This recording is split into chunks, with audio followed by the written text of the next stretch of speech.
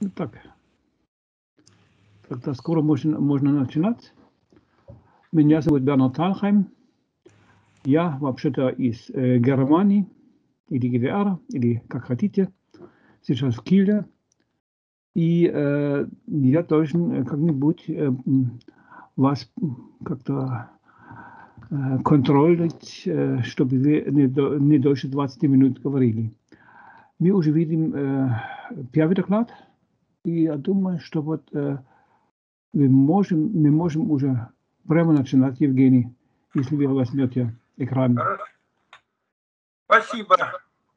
Добрый день, уважаемые коллеги. Я представляю Всероссийский научно-исследовательский институт гидрометеорологической информации, мировой центр данных Росгидромета. Ну, хочу рассказать о развитии конвейера обработки гидрометеорологических данных. Значит, в гидрометеорологии существует два потока данных.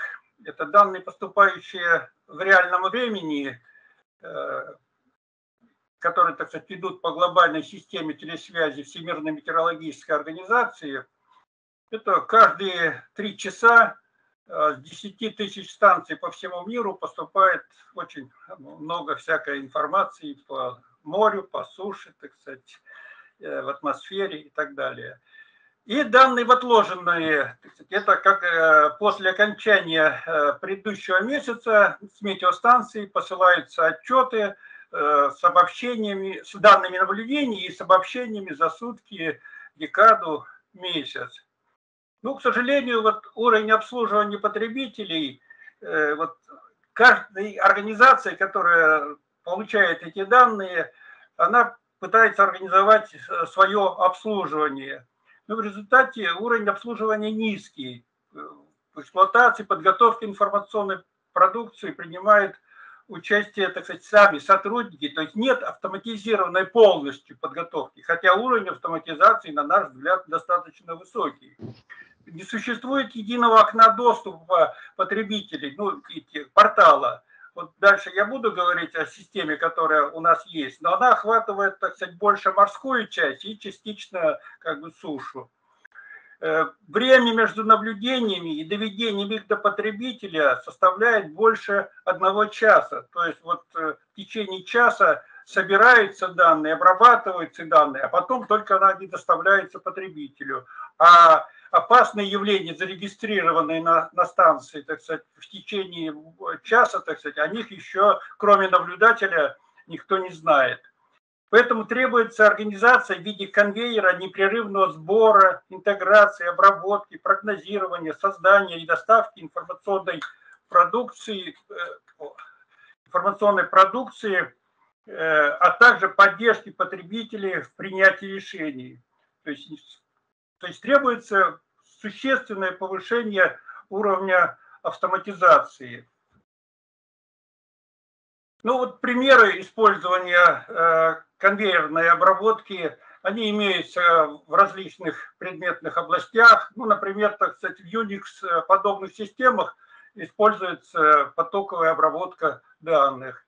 Э, компания Amazon использует, так сказать, управление э, сервисами э, именно через э, потоковую обработку.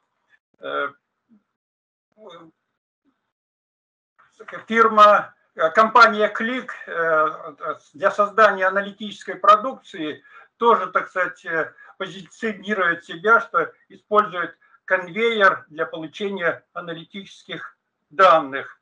Гидрометцентр России Э, вот тоже, так сказать, э, фактически, хотя они не, э, таки, такой, такие слова до сих пор я не слышал от них, но уровень автоматизации, обработки, декодирования данных в реальном времени, ассимиляция, интерполяция в узлы сетки для получения анализов и получения прогнозов, очень уровень автоматизации достаточно высокий. Вот справа представлен рисунок, на котором э, эта автоматизированность технологии оперативной обработки гидрометеорологической информации представлена.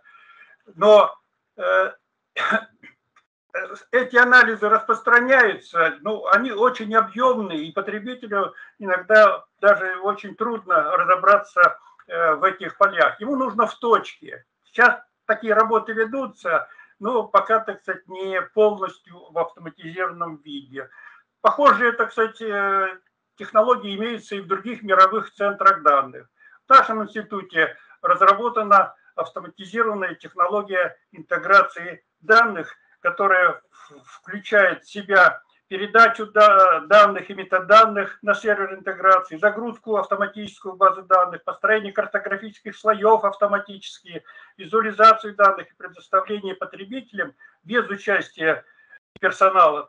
То есть э, уровень достаточно высокий, но это как бы побочное, как бы считается в нашем э, ведомстве, побочная работа, потому что основной это гидромедцентр предоставляет прогнозы, а мы как бы климатическую информацию больше, но в целом технология наша, так сказать, э, распространяется на более широкий класс данных. Если посмотреть на какие основные решения для создания такого конвейера обработки данных, то вот мы считаем, что интеграция данных – это основа для конвейерной обработки данных. Использование workflow на основе правил, согласно которым результаты автоматически передаются от одного сервиса другому, это тоже, так сказать, э, основа автоматизации, потому что с помощью э, триггеров, так сказать, можно э, восстанавливать работу системы, если произошел сбой, или, так сказать, один компонент, или даже все компоненты, и передача данных от одного этапа к другому. Авто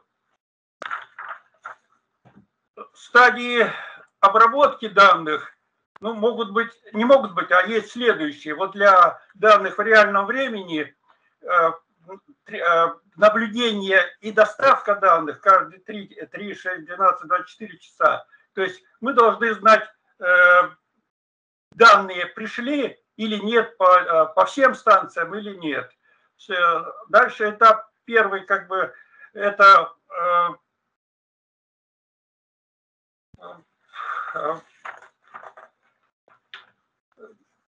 Первый этап – это первичная обработка э, данных, э, проверка качества данных, запись в базу данных, обновление метаданных. То есть это должно производиться непрерывно и через 40 минут после наблюдения это все проводится. Э, а 30 минут идет сбор информации с, со станции. Выявление, дальше вы, следующий этап выявления опасных природных явлений, формирование сообщений о них. То есть выявление должно происходить непрерывно после получения данных. Через 10 э, минут после загрузки в базы данных это должно происходить. Выпуск прогнозов каждые 3 часа через 2 часа после наблюдения. Доставка информации об опасных явлениях – это немедленно, через 3 минуты после идентификации опасного явления. Визуализация данных по необходимости через 3 минуты после получения. Прогноз воздействия опасных явлений на население и предприятия. Выдача рекомендаций должна происходить немедленно, через 3 минуты после получения информации об опасных явлениях. Для отложенных данных, ну, первый этап – это каталогизация данных ежегодно через 30 дней после окончания года – Э, дальше инвертирование, интерполяция и другая первичная обработка, данные становятся доступными через 90 дней после окончания года. И получение климатических данных ежегодно через 90 дней после окончания года. Большинство промежуточных массивов данных каталогизируется с помощью метаданных и сохраняется для дальнейшего использования. Поэтому требованиями к реализации такого конвейера должно быть следующее – Э, новые источники данных должны добавляться по мере необходимости. Должна осуществляться полная автоматизация обработки вплоть до создания автономной системы обработки данных. Должен использоваться механизм обновления данных, отмеченный э, в метаданных. То есть если в метаданных отмечено, что ресурс обновляется каждые 3 часа, значит, если он обновился через 4 часа, значит, это уже данные не актуальные. Все наборы данных должны иметь заранее подготовленные метаданные, обновляются только изменяющиеся атрибуты, потому что все автоматически метаданные должны обновляться. Автоматически создается различная информационная продукция, которая должна доставляться потребителям по подписке. Схема подключения новых приложений сервисов э, открыта для включения в конвейер обработки данных. То есть, если требуется еще какой-то этап, то проблем не должно быть. Ну, какие средства для конвейерной обработки данных должны быть? Ну, вот должен быть обязательно мониторинг получения данных со станции, потому что иногда, где данных мало, а у нас есть районы, где на тысячу километров одна станция, поэтому каждое измерение очень важно. Э, декодирование э, телеграмм и создание базы данных тоже это автоматическое, это должна проводиться это информ, э, декодирование с автоматическим созданием базы данных без участия человека. Дальше следующий этап уже, то есть не этап, а инструмент, который нужен, это интеграция данных. Э, получение информационной продукции, э, средства должны быть, средства доставки информации о природных явлениях, вплоть до мобильного, э, до смартфона, э, тоже, так сказать, это как бы отдельный э, инструмент. Визуализация метаданных и данных, поддержка решений, управление сервисами, ну и мониторинг состояния конвейерной обработки данных. Ну, справа, так сказать, представлен рисунок, что вот от станции до поддержки решений вот такая сквозная технология Э, непрерывной обработки данных должна быть. Ну, так как интеграция является э, основным инструментом, э, мы считаем основным инструментом для создания конвейерной обработки, то можно, так сказать, возможно доставить каждому потребителю необходимые только ему данные. К сожалению, вот сейчас существующие технологии дают слишком много информации потребителю. Потребителю нужно дать, давать минимум. То есть должна быть персонализированная э, доставка э, информации э, потребителю, а не самообслуживание, как вот сейчас, так сказать, э, э, в большинстве случаев присутствует на сайтах и порталов. Ну, в том числе вот и в рамках нашей системы, единая государственная система информации обстановки в Мировом океане, вот адрес его здесь есть, так сказать. Персонализированная доставка должна осуществляться по инициативе системы, а не по инициативе пользователя. Вот э, главный переход, так сказать, обслуживания в результате создания конвейерной обработки.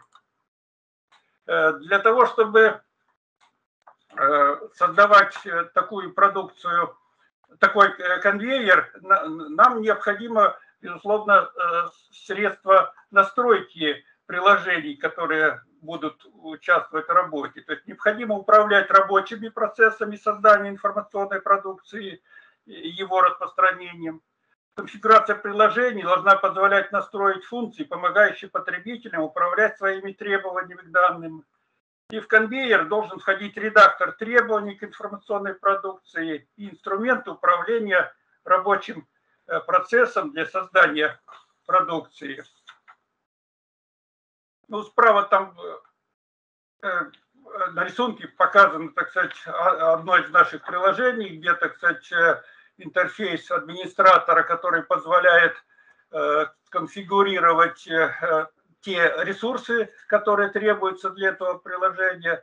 Затем, так сказать, э, интерфейс пользователя, который позволяет сконфигурировать под пользователя регион, перечень параметров, разрешение временное и пространственное, а также средства, которые позволяют вычислить, допустим, тренды, аномалии, экстремумы.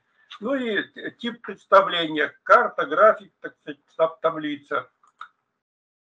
Для того, чтобы такая система э, эффективно функционировала, безусловно, э, необходимы показатели работы э, такой системы выработать.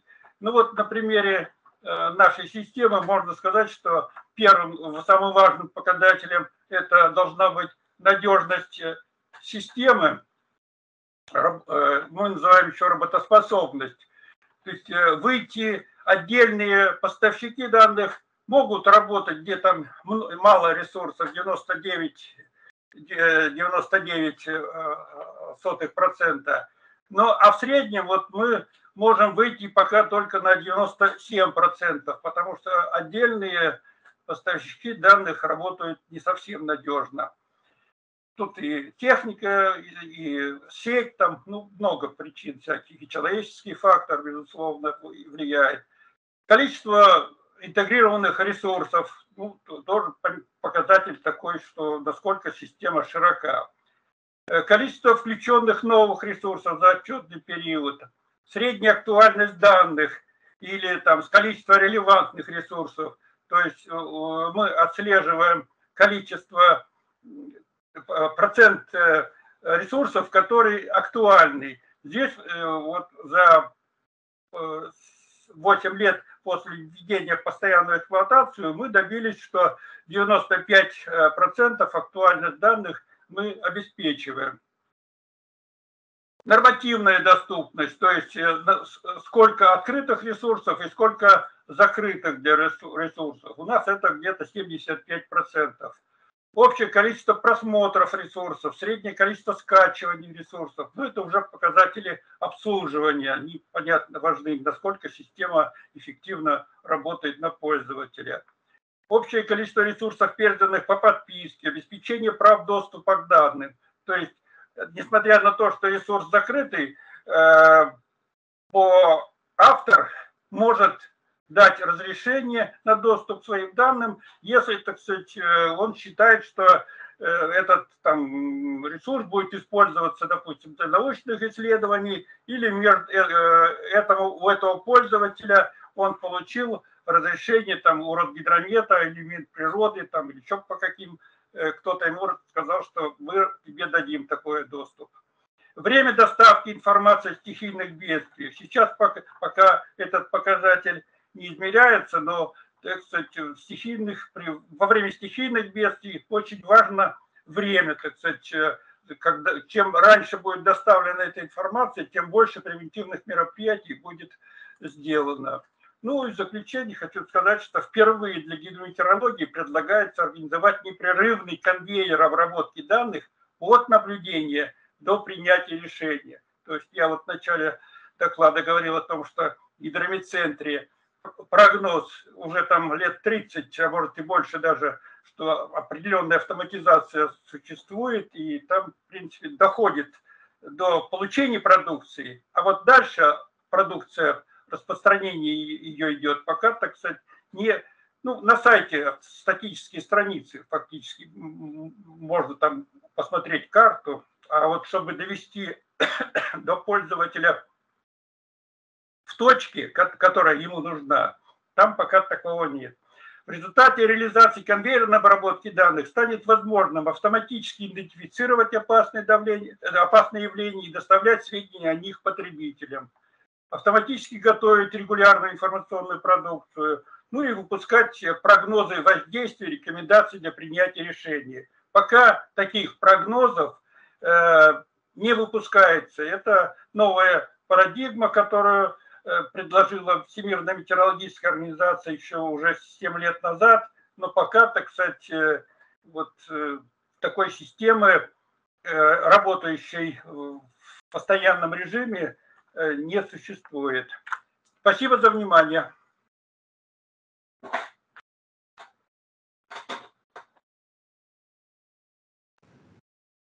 Бернард, э, ваш микрофон выключен. Мой? Uh, yeah. uh, we have some time for questions. По-русски или по-английски? По-русски. Есть... А, нет, есть, есть один вопрос. Можно? Да, да, да. Алексей. Э, даже три руки да. да, очень короткий вопрос. Ну, вернее, было два, но один я уже забыл. А вот не подскажете, ну, вопрос такой общедилетантский. А протоколы наблюдения метеорологических станций во всем мире, они унифицированы? Да, да. Так, так же, как и время наблюдений. То есть все может... Время Гринвич, Гринвич. Угу. Понятно. А правильно я понимаю, вы сказали, что через 90 дней климатические данные становятся доступны? Они становятся доступны за плату или для всех?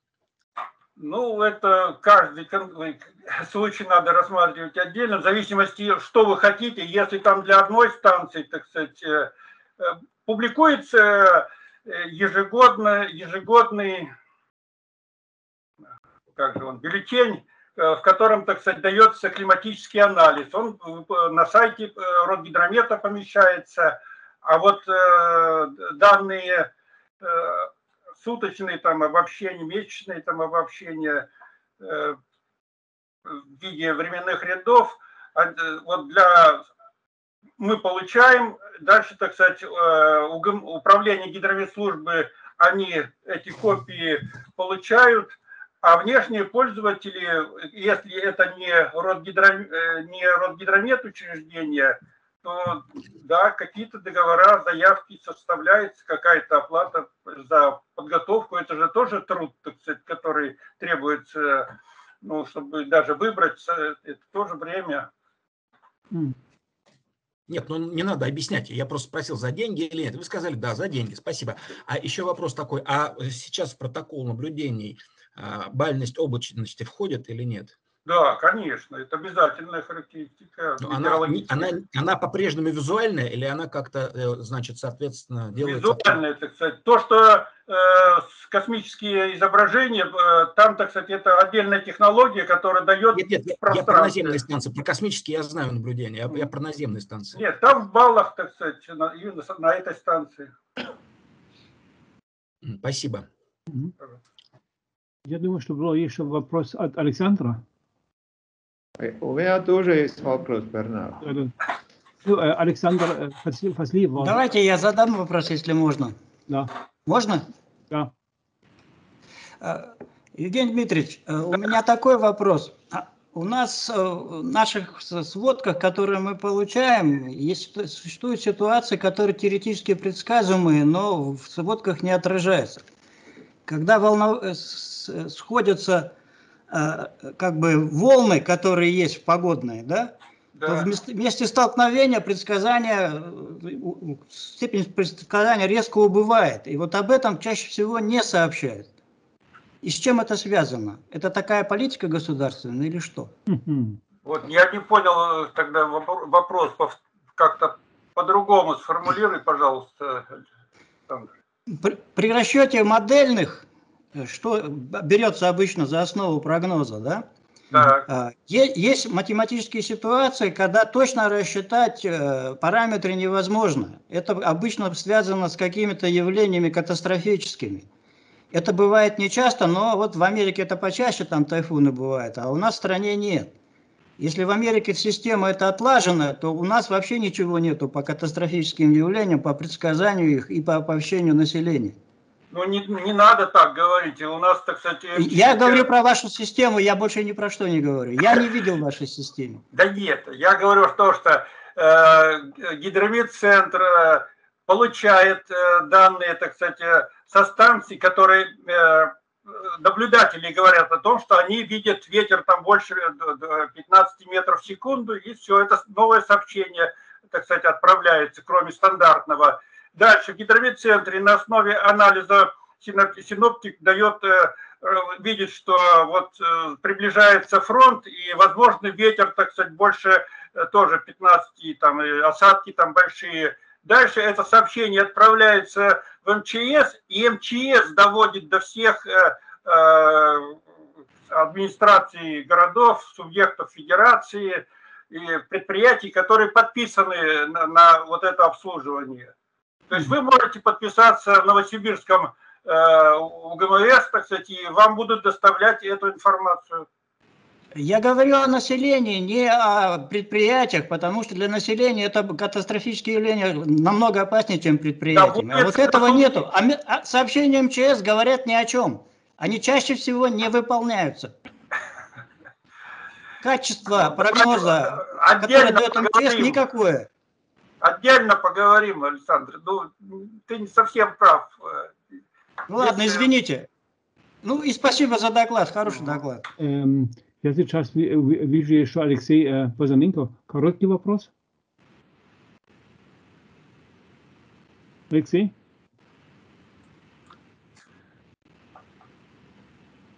Окей. Я уже вопрос задал. Кажется, я опустил руку. Ага, хорошо. Так что большое спасибо, я уже задал Можно вопрос. вопрос задавать, Бернард? Ну, а- короткий, с коротким а, ответом. Хорошо. Давай. Хорошо, тогда вот такой вопрос. Какую технологию интеграции баз данных вы используете? Ну, мы используем э, СУБД PostgreSQL. Ну, у нас еще Oracle теплится, если с точки зрения вот баз данных. А вот скажите, пожалуйста, какой об- объем информации вы обрабатываете, как правило? Ну, в сутки э, у нас э, более десятка гигабайт. А, Значит, приходит и уходит. То есть нет, нет петабайтов, да, допустим? Да, несколько баз данных, да. Нет, всяк- петабайты информации обрабатываете? Да, мы обрабатываем, мы интегрируем, дальше, так сказать, э, распространяем через А портал. вот через- какая технология вы используете э, во время... А, э, Ну, для создания портала мы используем, используя язык Java 2, так сказать, для Да нет, я хочу сказать, нет, мой вопрос касается тому, вот, допустим, это data warehouse, а, то есть хранилище данных, это медиатор, это куб данных. Вот такой вопрос. Ну, как-то я вроде читаю лекции по базам данных. И, и вроде технология- ничего. тогда- я тогда думаю, что надо э, тогда э, на э, э, персональный режим переключиться. А не, и, э, всё. я думаю, что надо уже приступать уже. к следующему докладу. Хорошо. Спасибо. По-моему, Это Спасибо. будет э, эм, представить Тарас Васильев. Э, Вы можете освободить э, ваш э, скрин? эм? Uh, good afternoon. Uh, actually, it's uh, who is the presenting person is uh, me, and my Я- name is окей, хорошо. Надежда. Vasilyeva. Um, just a second. Э, I'm, Надежда, но I'm sharing my screen, right? э, не, пока- А, Евгений, остановите, пожалуйста, при- э, ваш э, Демонстрацию э, экрана. экран. Да, Спасибо. сейчас. Мгм. Хорошо, Надежда. Давайте. Mm. Okay, just a second. Okay. Um, okay, uh, I'm here. Uh, good afternoon again, everyone. Uh, thank you for presenting me.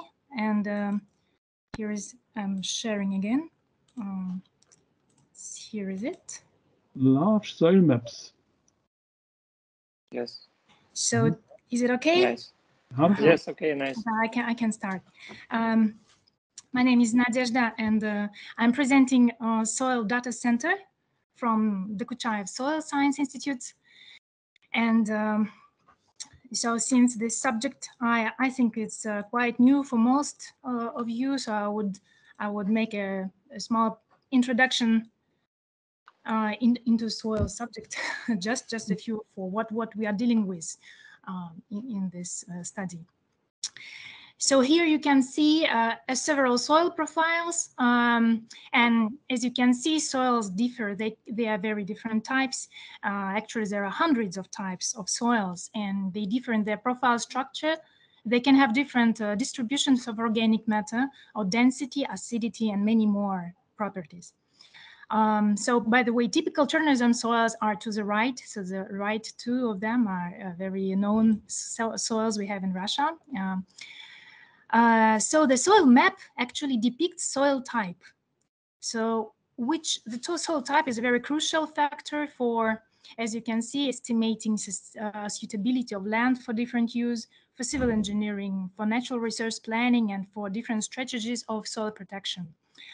And the, the problem is that determination of a soil type uh, normally requires a field expedition and thus creating a detailed soil map is an expensive and a labor consuming task.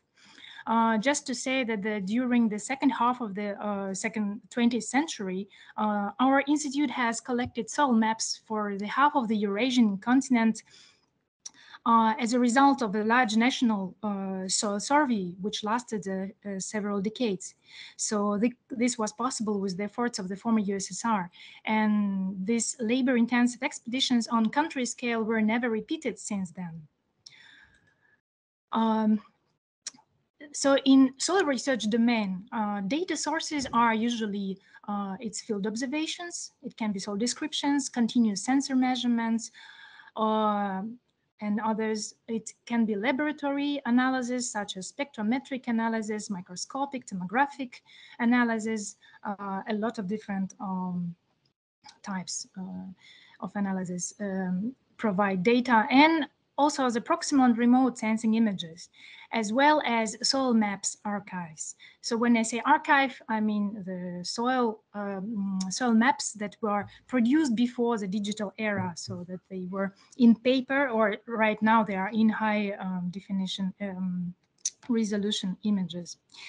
And these archive soil maps, which, which uh, can be tens of thousands of sheets, um, are an example of data which require digitizing and they could profit from application of image recognition techniques. Um, so the current states um, and motivation. So the question of future soil dynamics as Earth's fertile layer uh, became crucial with global population growth, especially related to food security, for example. And it indeed causes large part of uncertainty, uncertainty in Earth system modeling. For example, speaking about carbon dioxide emissions, uncertainties reported come up to 20%. Mm -hmm. So we obviously need to provide more ground truth data.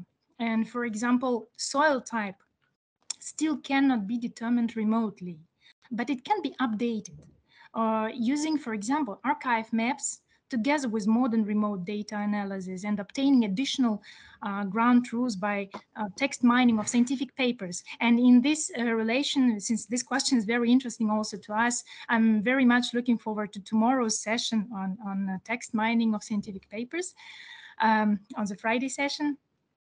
So most of the present valuable knowledge about soil cover of the past is still in the form of paper soil maps or high resolution images.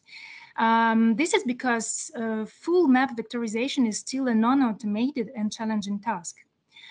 Um, the work of making a digital catalog is still ongoing worldwide, as you can see in national and international soil data centers.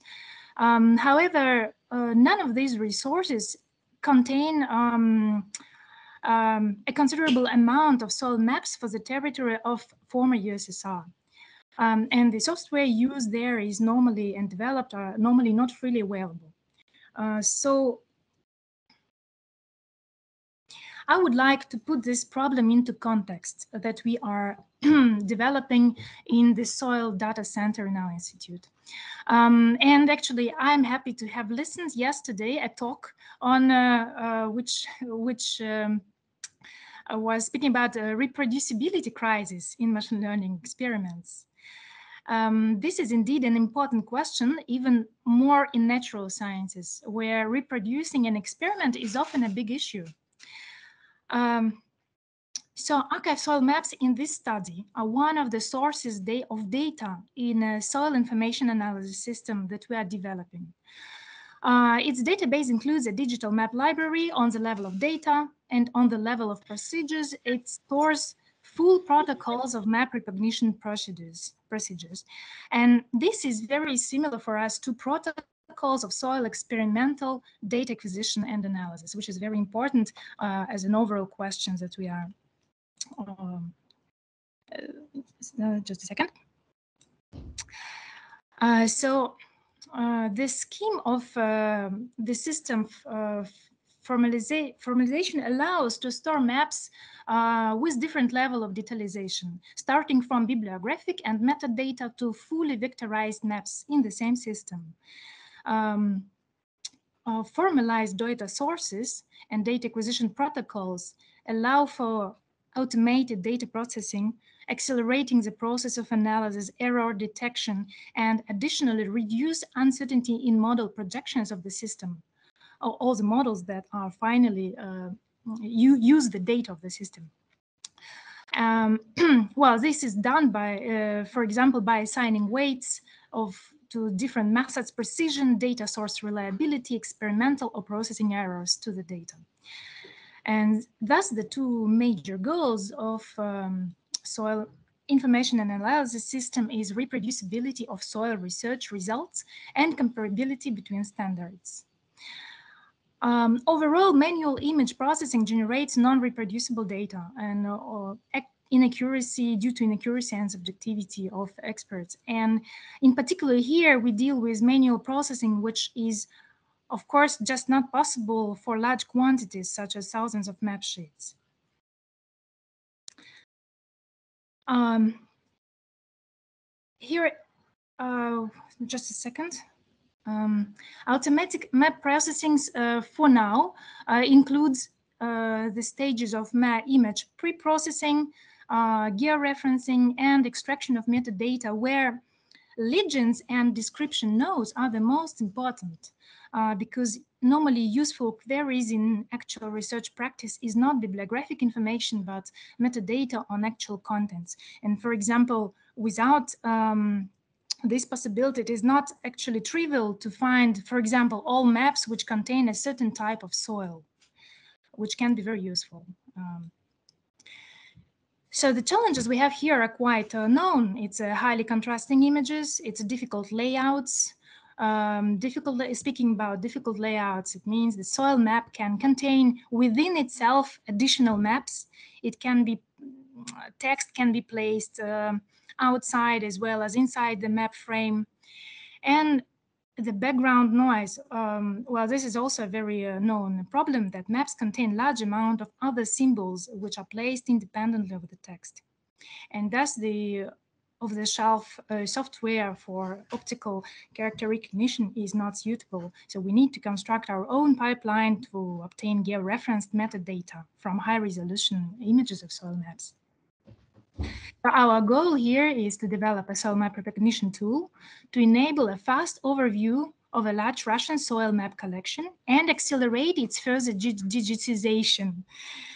So this tool will serve uh, for data collection in the soil information system. And as I mentioned just before, uh, in its turn, the system aims for reproducibility of soil research and integration of heterogeneous soil data. So we obtain images just using mass market camera of 24 megapixel, which is a minimal required uh, resolution, and we have uh, JPEG files of 10 megabytes. Uh, in the archive for the institute, uh, well, we have um, uh, approximately uh, several thousands of map sheets. No, not know exactly. We don't know exactly the number. So this is the task to overview. Um, and they are in different condition condition of uh, paper quality and completeness of output information. So we use the test set of 200 maps, 207 for this demo. Um, so the it's we start with image pre-processing steps, which include uh, removing a linear luminescent trend, uh, correction of distortion due to perspective, and detecting a map frames. Uh, we suppose that any text located outside map frame is highly probably an imprint. Um, then we do map segmentation uh, into background and foreground. So the back foreground is actually the map and the background uh, contains supplementary texts and legends. Uh, since the same element may appear on the map area itself and in the metadata, this is very important to do. Uh, we use here um, uh, superpixels in the color space and adaptive thresholding, and then a segmentation into foreign background using GrabCAD. Um, so the georeferencing, um, on the georeferencing stage, uh, of course, we would like to render and make interactively accessible the map in high resolution on the map of the world uh, in our catalog. Uh, for this, we make a rough soil map uh, georeferencing using deep learning based algorithms, firstly with um, efficient and accurate syntax detector for text detection within the map area. And this is followed by text recognition using Tesseract or, or um, optical character recognition. Um, also the map language is detected and further whenever the detected language is not Russian because it can be a former USSR language, anyone, a request is sent for translation of recognized text using Yandex.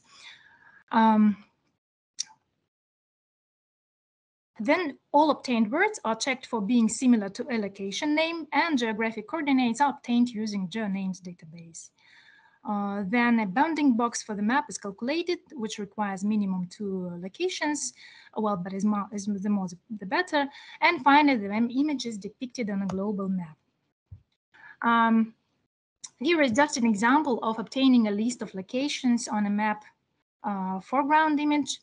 And the resulting table contains location coordinates uh, and in Cyrillics and their coordinates on the image. So if georeferencing automatic fails, we provide the user an opportunity to interactively provide two location points on a map with a mouse and entering location names. So then um, everything else goes as, as, uh, the same way as uh, in automatic mode. And here you can see the example of a user interface dialog and um, yes, the, the rest steps are the same as in the previous slide. Um, yes, it's in Cyrillics right now, but you can see in the gray box, this is what the ge geographical location which were obtained from GeoNames database. Uh, deriving soil map metadata is carried automatically with text recognition for the whole non-map area and provides possibility for keyword search. This is the first step, which is already something. And then in addition, uh, the operator can select map attributes for soil, parent material, vegetation, and etc. And then select uh, areas for text block recognition. Each area is processed, is processed uh, using uh, Tesseract with the detected language and translated if necessary. Um, the operator is supposed to check the correctness of the text and choose an edit uh, attribute name for, for the block um, and save metadata Uh, bounding boxes of all operators selected and verified recognized text are saved and used as annotations for further use as a training set in a layout detection techniques. So here is just an example uh, of a map area containing title and authors. Um, well, maybe more interesting is legions and so on, but uh, this this result is for the title and authors, and the result of the optical character recognition uh, of the original text, which is shown on the left box, and the language is Ukrainian, and the translation is shown on the right uh, in the right box. Um, in, in, uh, with this, I would like to make a summary. Um, well, it's, I did not shorten the text here, but uh, the main, uh, the most important uh, for us is that uh, maybe the pipeline of techniques here is not the most optimal, but uh, it's enough to process the data, which is so the, the, um, the process, um, the speed of the data processing um, is faster at least than the data of or the time of taking photographs of the maps. Um, and we have these three stages of uh, introducing the maps into our system, which is the minimal, annotated, and detailed. And with the minimal, we have a digital inventory of the libraries as the catalog. Uh, on the annotated stage, we have um, digital map catalog with the summary overview. And uh, you can select maps that are interesting that that are can have a priority for full uh, vectorization um, and in this yes this uh, this work should um, improve and um, accelerate the third stage who is actually taking usually the the longest uh, time. Um, yeah this I have everything to say. So thank you. Thank you. Спасибо, Надежда. У нас еще есть немножко время для вопросов по-русски или по-английски. Скажите, пожалуйста, какой стандарт метаданных вы применяете для идентификации изображений? Um, стандарт метаданных для идентификации... Ну, для описания метаданных. Um, should, should I reply in English or in Russian? Uh, ну, любой. Лучше по-русски. По-русски. Um, спасибо за вопрос, но мы um, ну, как бы метаданные этих карт мы позволяем а, а, пользователям, в принципе, самим выбирать, а, это, поскольку это делают эксперты, вот, а, они определяют а, атрибуты сами. Вот, то есть это довольно такая форма свободная. То есть мы как раз стремимся к тому, чтобы не было какого-то конкретного фиксированного я понял, спасибо. Да. А какой инструмент вы для этого используете? Э, для чего конкретно? Ну, для описания метаданных. Если сам э, пользователь определяет состав атрибутов, значит, какой-то инструмент у вас есть универсальный. Э, ну вот, и вы имеете в виду технический или... Да, да, технический. Как вот вводится? Это же не вруч... ну, как бы каждая запись не будет разный состав атрибутов, а надо описать их, эти атрибуты, каждый раз по новой. Значит, есть инструмент настройки. Ну, у нас, э, я могу как позволить ответить э, с автором, да, который, может быть, лучше вам технически ответит, но в целом э, метаданные у нас хранятся в неком листе, у, у каждой карты есть э, свой идентификатор и есть а, значит, атрибуты, э, для которых хранятся значит, эти uh, bounding boxes и содержимое, то, что эксперт увел. Вот. Ну, вы же там еще библиографию mm. привлекаете. Да. Ну, я да, понял, да. все, спасибо. У каждой карты спасибо. есть координаты, ее общие данные, и дальше у каждой карты есть атрибуты. Это все в листе, и ли, листы, они позволяют как бы разные все. форматы хранить. Спасибо. Mm. Я еще вижу э, рука э, Александра Фасмиев. У меня такой вопрос. Если у вас э, разные метаданные, между собой э, ресурсы не связаны по одинаковым метаданным, то как вы осуществляете поиск ресурсов своих? Пользователь, как у вас осуществляет поиск ресурсов? Я поняла, спасибо, да. Значит, ну, он у нас формируется просто в процессе того, как, э, то есть, естественно, если этот метод данных уже была кем-то э, определена, то нужно использовать, да, вот э, то, то, тот же, то же название. Если это совершенно что-то другое, чего человек не может найти в имеющихся, то он заводит новый. Вот. А в принципе, если есть какие-то э, очень похожие, но это уже экспертным образом дальше решается, если пересечение, можно, мы можем объединять просто, если просто люди по-разному посчитали одно и то же. Вот. А, но в целом этот список растет. Он, как бы, естественно, должен быть уникальным, но мы позволяем. А дальше уже идет ну, как бы обработка снова. То есть сначала мы позволяем пользователям как бы самим решить, а потом дополнительно а, как бы, э, делаем refine. Вот. Естественно, после этого у нас остаются уникальные как бы, поля. Можно небольшой еще вопрос? А семантическим поиском ресурсов вы занимаетесь? Ну вот я как раз сказала, что мы очень заинтересованы завтра поучаствовать в сессии которая будет посвящена, я так понимаю, там очень много будет докладов интересных. Вот. Э, это очень интересный вопрос для нас. То есть мы в ресурсы, вот э, в частности статьи, в которых уже очень много описано а, почвенных данных с конкретными координатами и так далее. То есть мы как бы пока что э, делаем что? Мы вытаскиваем статьи, в которых есть указанные координаты. И дальше, конечно, нам, допустим, было интересно а, автоматизировать как-то вытаскивание данных оттуда, вот, которые соответствуют. Хорошо, спасибо за ответ, я понял. Угу. Э, тогда, Манюк, э, снова короткий вопрос. Нет, похоже на то, что я правильно не понял. У меня вот такой вопрос. Метаданные выводятся из текста вручную или каким-то механизмом? А, значит, и, спасибо. Да, то есть у нас на этой стадии предполагается так, что есть общая э, да, анализ текста.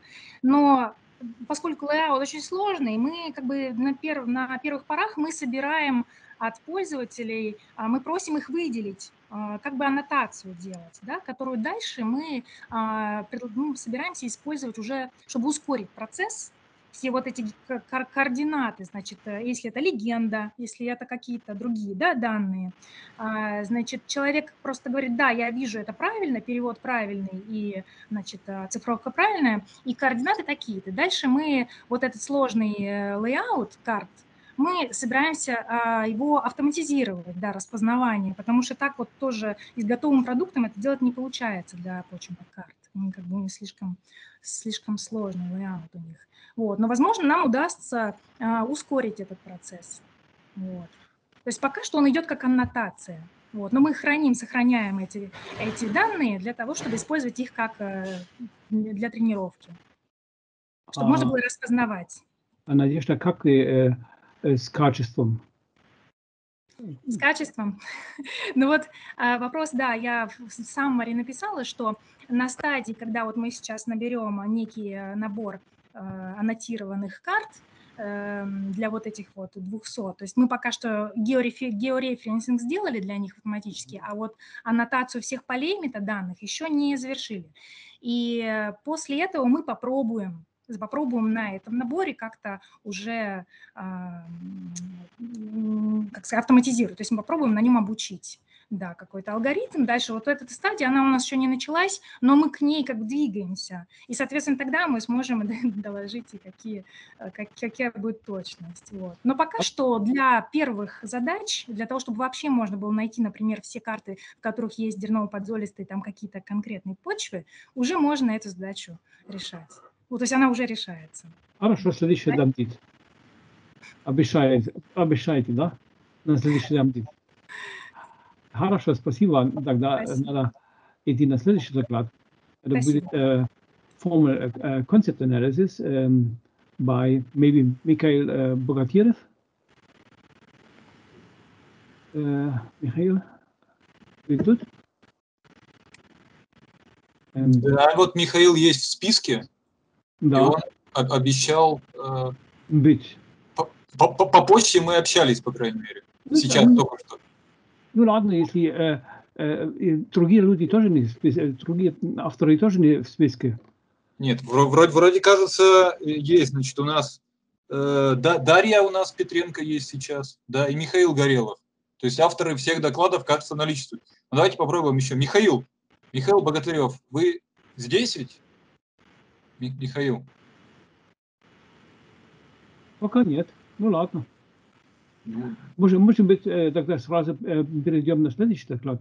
Дарья Петренко, по-моему, э, следующий доклад после этого. Да, я здесь. Меня слышно? Здравствуйте. Ну тогда сразу, да, если вы согласитесь, давайте. О, давайте. Да, давайте. Так, сейчас, секунду, я тогда на настрою слайды. Да. да. This, this one with right by side, models and adaptation. That's something. Спасибо.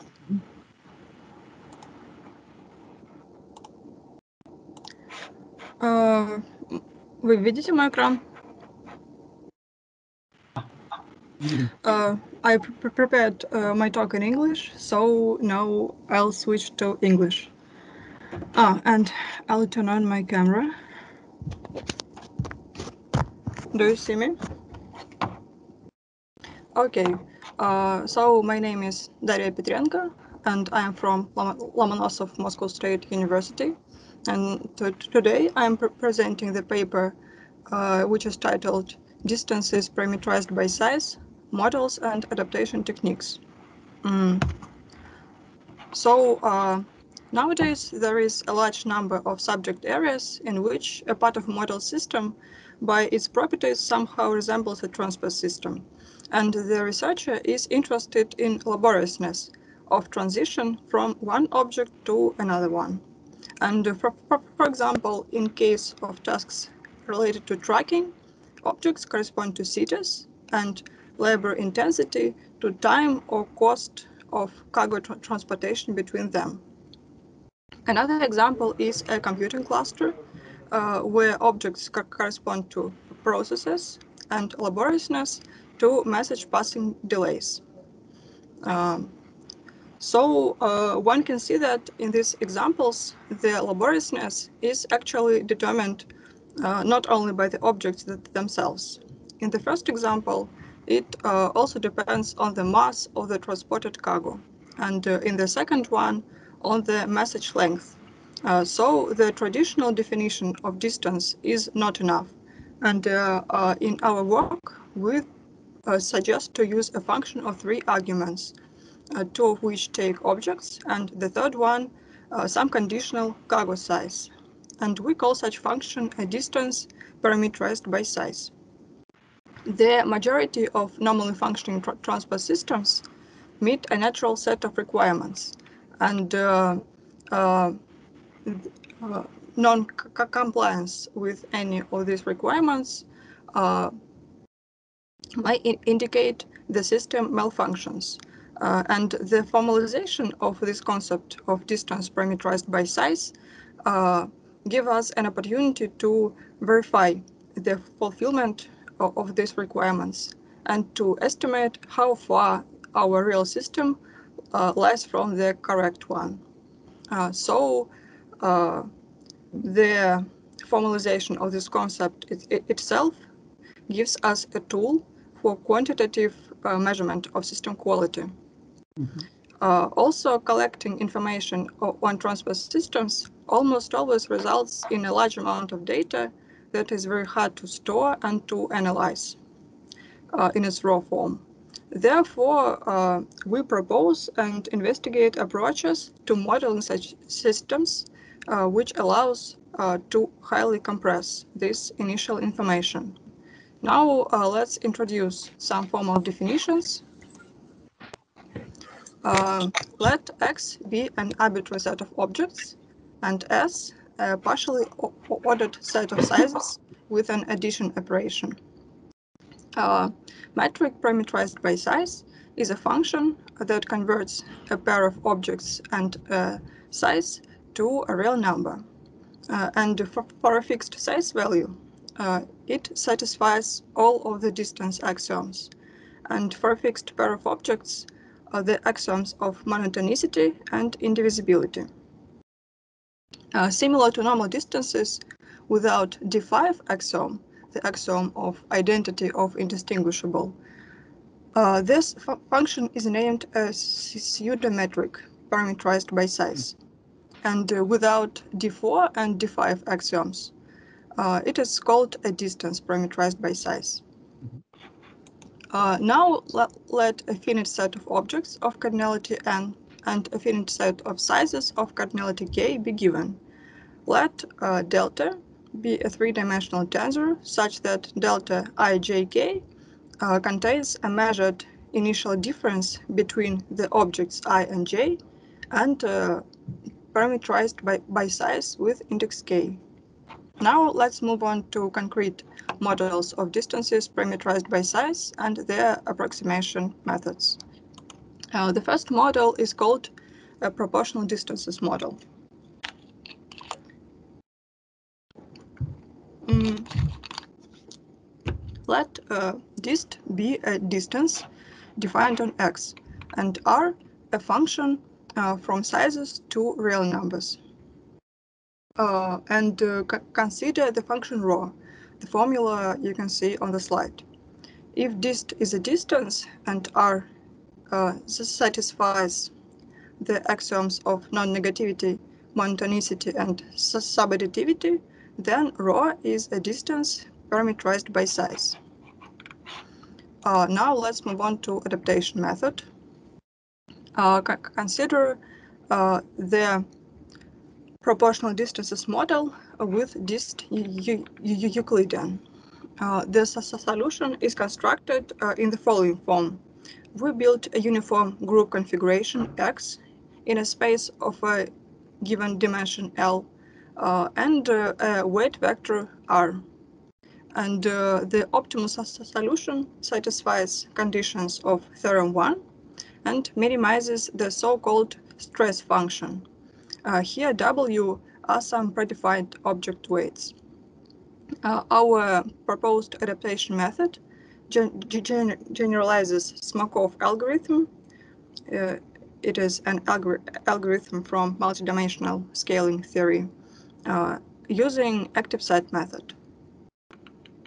Now uh, the second model, which is called an individual differences model. Let, let X be a set with defined distance dist such that its elements uh, are vectors of length L. Uh, and uh, R is now a, a, function from sizes to real valued vectors of length L. For all, for all elements of X, um, an operation of multiplication by a real valued matrix is defined. Consider the function rho, the formula you can see on the slide. Uh, if, again, dist is a distance and r is non-negative, monotonous, and subadditive, then rho is a distance parameterized by size. Uh, now, adaptation method. Uh, again, consider the proportional distances model uh, oh, sorry, an individual differences model uh, with dist Euclidean. Um, let us con construct the solution in the following form. Uh, X is again a uniform group configuration and uh, uh, R is an L-dimensional weight vector uh, for each size. L is a hyperparameter of our model. Uh, the optimal, optimal solution satisfies conditions of theorem 2 and uh, minimizes the stress function. Here again, uh, W are predefined uh, weight vectors for objects. Uh, the proposed adaptation method is another generalization of Smakov algorithm using active set method. now let's move on to experiments.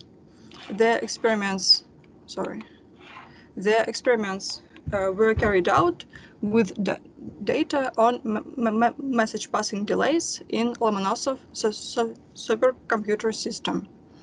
Mm, in our experiment, the data was collected for 78 processes and uh, for 100 different message lengths in, in range from uh, 0 to uh, 100,000 uh, in increments of 100 bytes. And for every ordered pair of processes and for every message length, uh, several uh, several measurements of delays were taken, and uh, then the median of the obtained measurements was computed. so Finally, we got a, a, tensor uh, of dissimilarities parameterized by size, uh, which is a real valued tensor uh, of size 78 times 78 times 100. And uh, first of all, uh, we wanted to measure how real data correspond to our proposed axiomatic model. Uh, to do it for each axiom, we took all pairs or triplets of values from the input tensor, for which it is correct to check uh, this axiom's fulfillment. And then uh, we computed the fraction of these pairs of triplets for which the axiom is incorrect. The results are shown in the table, and you can see that the values are very small. Uh, during further experiments, uh, the proportional distances and individual differences models were adapted to this real data for different values of L, where L is the solution space dimension. Uh, for comparison, uh, these models were also tuned without uh, parameters restrictions. Under this condition, they equal to the existing models from multidimensional scaling theory and their adaptation methods equal to Smakov algorithm generalizations for these models. Uh, so comparison to unconstrained models is actually comparison of our proposed methods to the existing ones.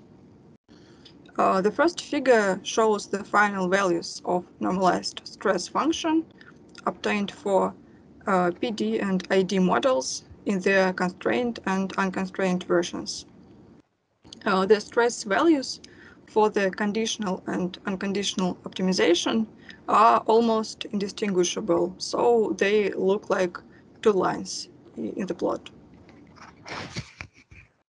Uh, the results of constraint models adaptation satisfy all the axioms of distance parameterized by size uh, because of uh, the methods.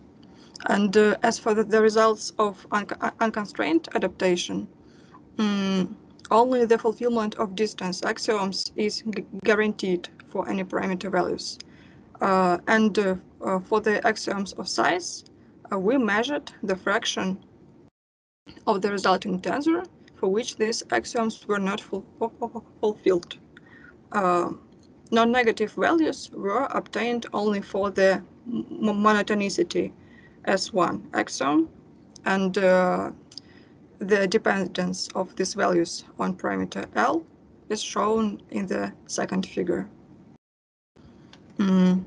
You, you, can see that for ID model, the values are rather high and uh, they are non-zero. It is uh, more important for us. Uh, then uh, the conclusions from the experimental results are the following. First of all, we can say that the examined supercomputer system works properly. First of all, the axioms of distance parameterized by size are violated only for small amount of real data. Also, the values of normalized stress function for, for models adapted to data uh, take very small values. So the system is uh, rather close to the correct one. And finally, the values of normalized stress are similar for conditional and unconditional models. And it means that the requirements for, for the parameters don't impose significant restrictions on the quality of model adaptation. Mm. Another conclusion is that uh, unconstrained models doesn't ensure uh, fulfillment of all the axioms, but they achieve the same degree of approximation, approximation as constrained ones. So the pr proposed methods uh, both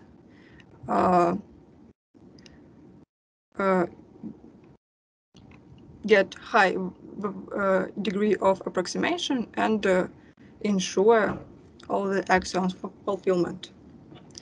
Uh, we also compared uh, PD uh, model to ID model uh, based on the results of our experiments. And we concluded that individual differences model may be redundant for our data. The normalized stress function values differ only for large values of L uh, and uh, if we want to obtain high degree of compression, we should take small values. Uh, and the number of parameters and tuning time for ID model is much larger. The number of parameters and uh, the plot with uh, unique time depending on L can be seen on the slide. Mm, uh, so in, con in conclusion, uh, in this work, we introduced the concept of distances parameterized by size and proposed several specific models of such distances. For each model, we found sufficient conditions on parameters and pr provided adaptation method. We also experimentally demonstrated a good quality of approximation for models with small number of parameters and comparability of losses with unconditional problem statements. Uh, we also showed models usability for system quality quantification. Thank you for your attention. Uh, do you have any questions? Thanks a lot, Daria. Отлично, что вы по-английски. Thank you. Uh, questions, please. Uh, I, I see here also Achil. So Yes, uh, hello, I'm here. I'm uh, glad uh, to see all the participants here. And okay. Uh, I would like to say that Daria uh, prepared very nice uh, and it was well, I quite satisfied with Daria's talk. So well done. Okay. Uh, there's, there's a question by Sergey. Да, можно. Наверное, легче по-русски, да? Да, пожалуй, можно. Так, у меня, у, меня, у меня вопрос вот какой. Значит, э, ну, понятно, да, вот э, предложены вот такие варианты э, расстояния, да, вот э, показано экспериментально, что, да, такие модели расстояния хороши, а вот вопрос э, тут об использовании там дальнейшем вот такого рода метрик. Значит, во-первых, в какие методы предполагается засунуть, то есть в какие-то методы машинного обучения это нужно засунуть. Нет, и ну вот... сейчас, а. сейчас, минутку, да. И второй вопрос, э, в каких э, вот прикладных областях э, наблюдается такое, что вот обычных вот, метрик расстояния недостаточно, а нужны вот именно такие метрики. Ну, кроме, кроме того, что вы здесь рассматриваете, вот этот ваш пример. Так, ну, в общем, по поводу первого вопроса, мы приводим в статье методы настройки параметров моделей, которые не связаны с машинным обучением, то есть там вот используются э, алгоритмы, основанные на э, алгоритме смоков. Это метод из многомерного шкалирования. Вот. Ну и, в общем, то есть в статье мы более подробно описываем э, этот метод настройки весов. Вот. И он по позволяет как раз настраивать параметры модели под данные. То есть там все Не, это... но эта модель, модель имеется, под моделью сейчас имеется в виду вот э, ваше параметризованное э, расстояние, ваше, ваше ну, да, то есть у нас есть модель расстояний, а есть метод настройки этой модели э, под реальные данные. Ну, ну, и это все описано в статье, то есть там и метод настройки тоже есть. Я просто подробно не стала здесь технические подробности в докладе рассказывать, потому что там очень много. А если... А, если можно, я, может быть, прокомментирую. Сергей, на самом деле у вас, наверное, немножко другой был вопрос. Он заключался в том, что вот расстояние между объектами исходной содержательной по, а, постановки задачи, откуда берутся, да, и как мы, э, их можно было бы моделировать а, соответственно, вот стандартные метрики, они же применяются к каким-то стандартным сущностям. Вот как вы измерили в каком-то исходном, содержательном или бизнес-пространстве это расстояние, мы этим вопросом сейчас не задаемся хотели, использовали евклидово расстояние, хотели какое-то современное специализированное расстояние использовано. Для нас расстояния даны. Уже есть какой-то способ в содержательной предметной области посчитать расстояние. Но дальше эти расстояния надо упаковать. И, упако... и первое, да, их надо упаковать, чтобы использовать для разных задач. Например, что касается задержек суперкомпьютера, да, там и вообще в вычислительных кластерах, на самом деле дальнейшая прикладная область – это планировщики. Современные планировщики, они должны работать не только с длительностью вычисления да, какой-то задачи, но и с длительностью сбора данных на узле, чтобы вычисление можно было начать. И, соответственно, чтобы вот такие планировщики снабдить э, а, чтобы такие планировщики снабдить исходной информацией, нам нужны модели в духе, как Дарья сейчас представила. А, и вот это такая идеология есть. Другой здесь важный аспект, что мы сразу же добавляем содержательные условия, что вот это метрические предположения выполнены. Не в любой содержательной предметной области нужны метрические а, требования но где-то они уместны, где-то естественно ожидать, что если вот какая-то система работает корректно или отвечает каким-то нашим представлениям о своем устройстве, она и этим требованиям должна соответствовать.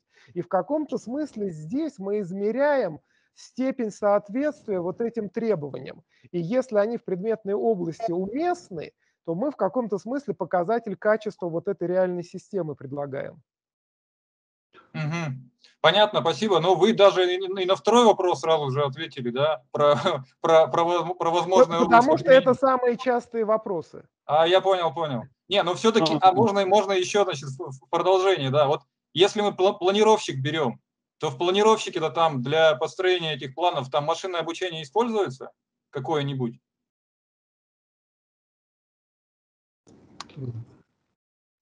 Ну, скажем честно, Даша этой части никогда в жизни не Не-не-не, а я, я, я, если нельзя сейчас ответить на вопрос, я не это самое, я так это, более общий вопрос дальше.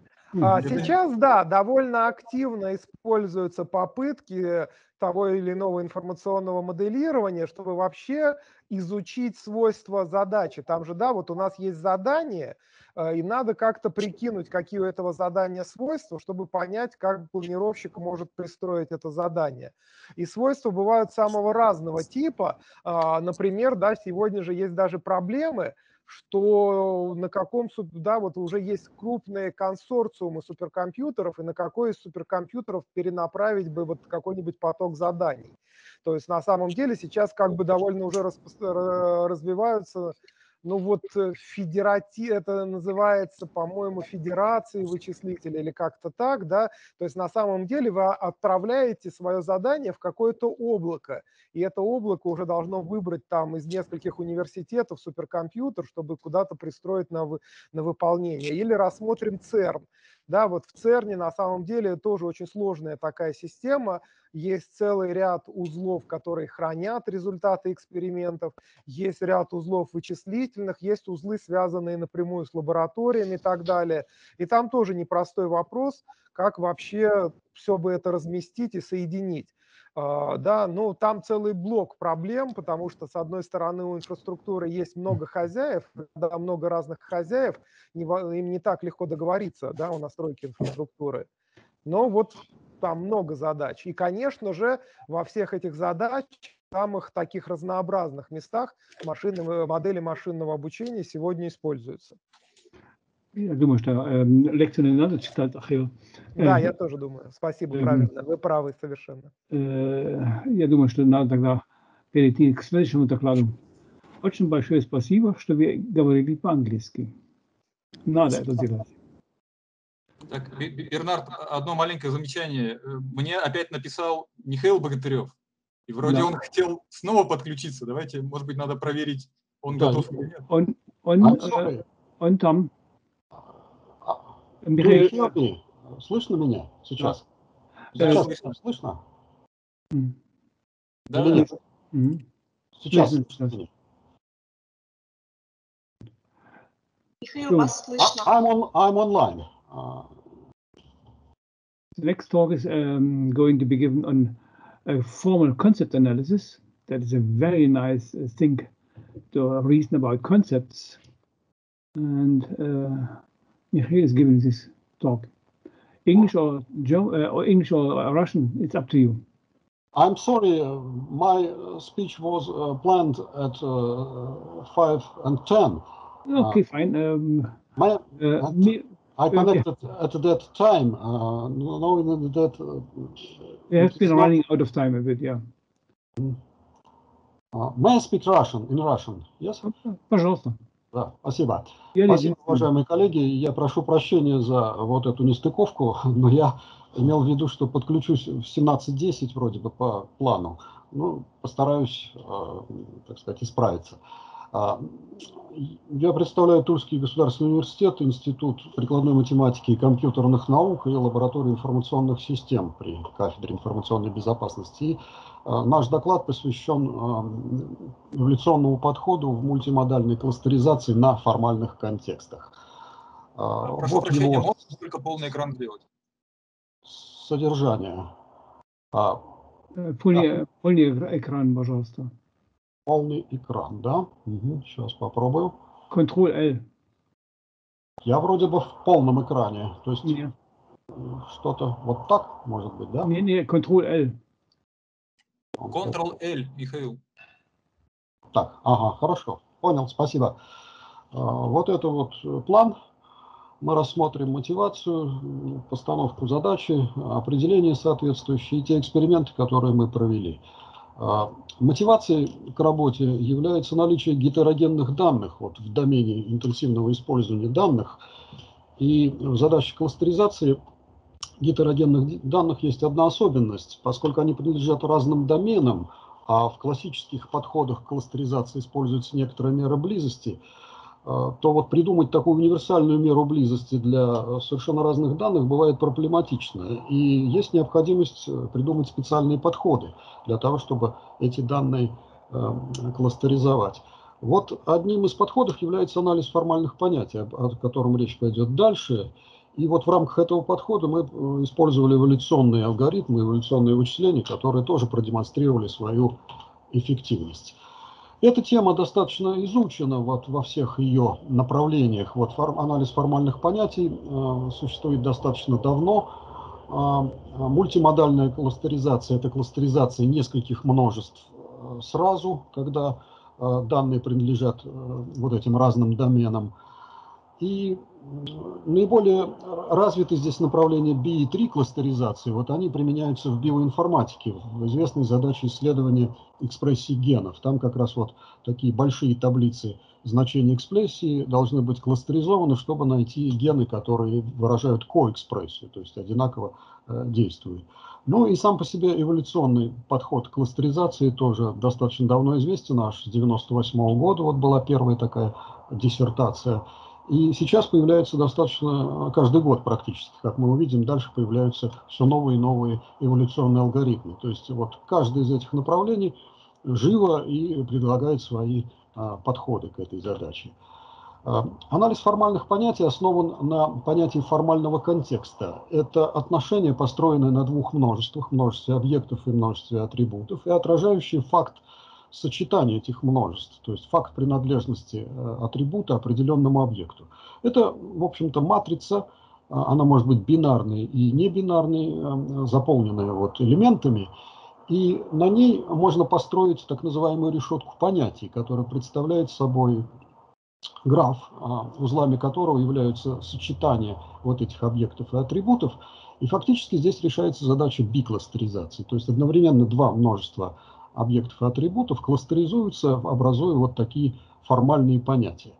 А, формальность здесь как раз в том и состоит, что они просто вот сочетаются. То есть мы получаем наборы атрибутов и объектов а, в каждом узле.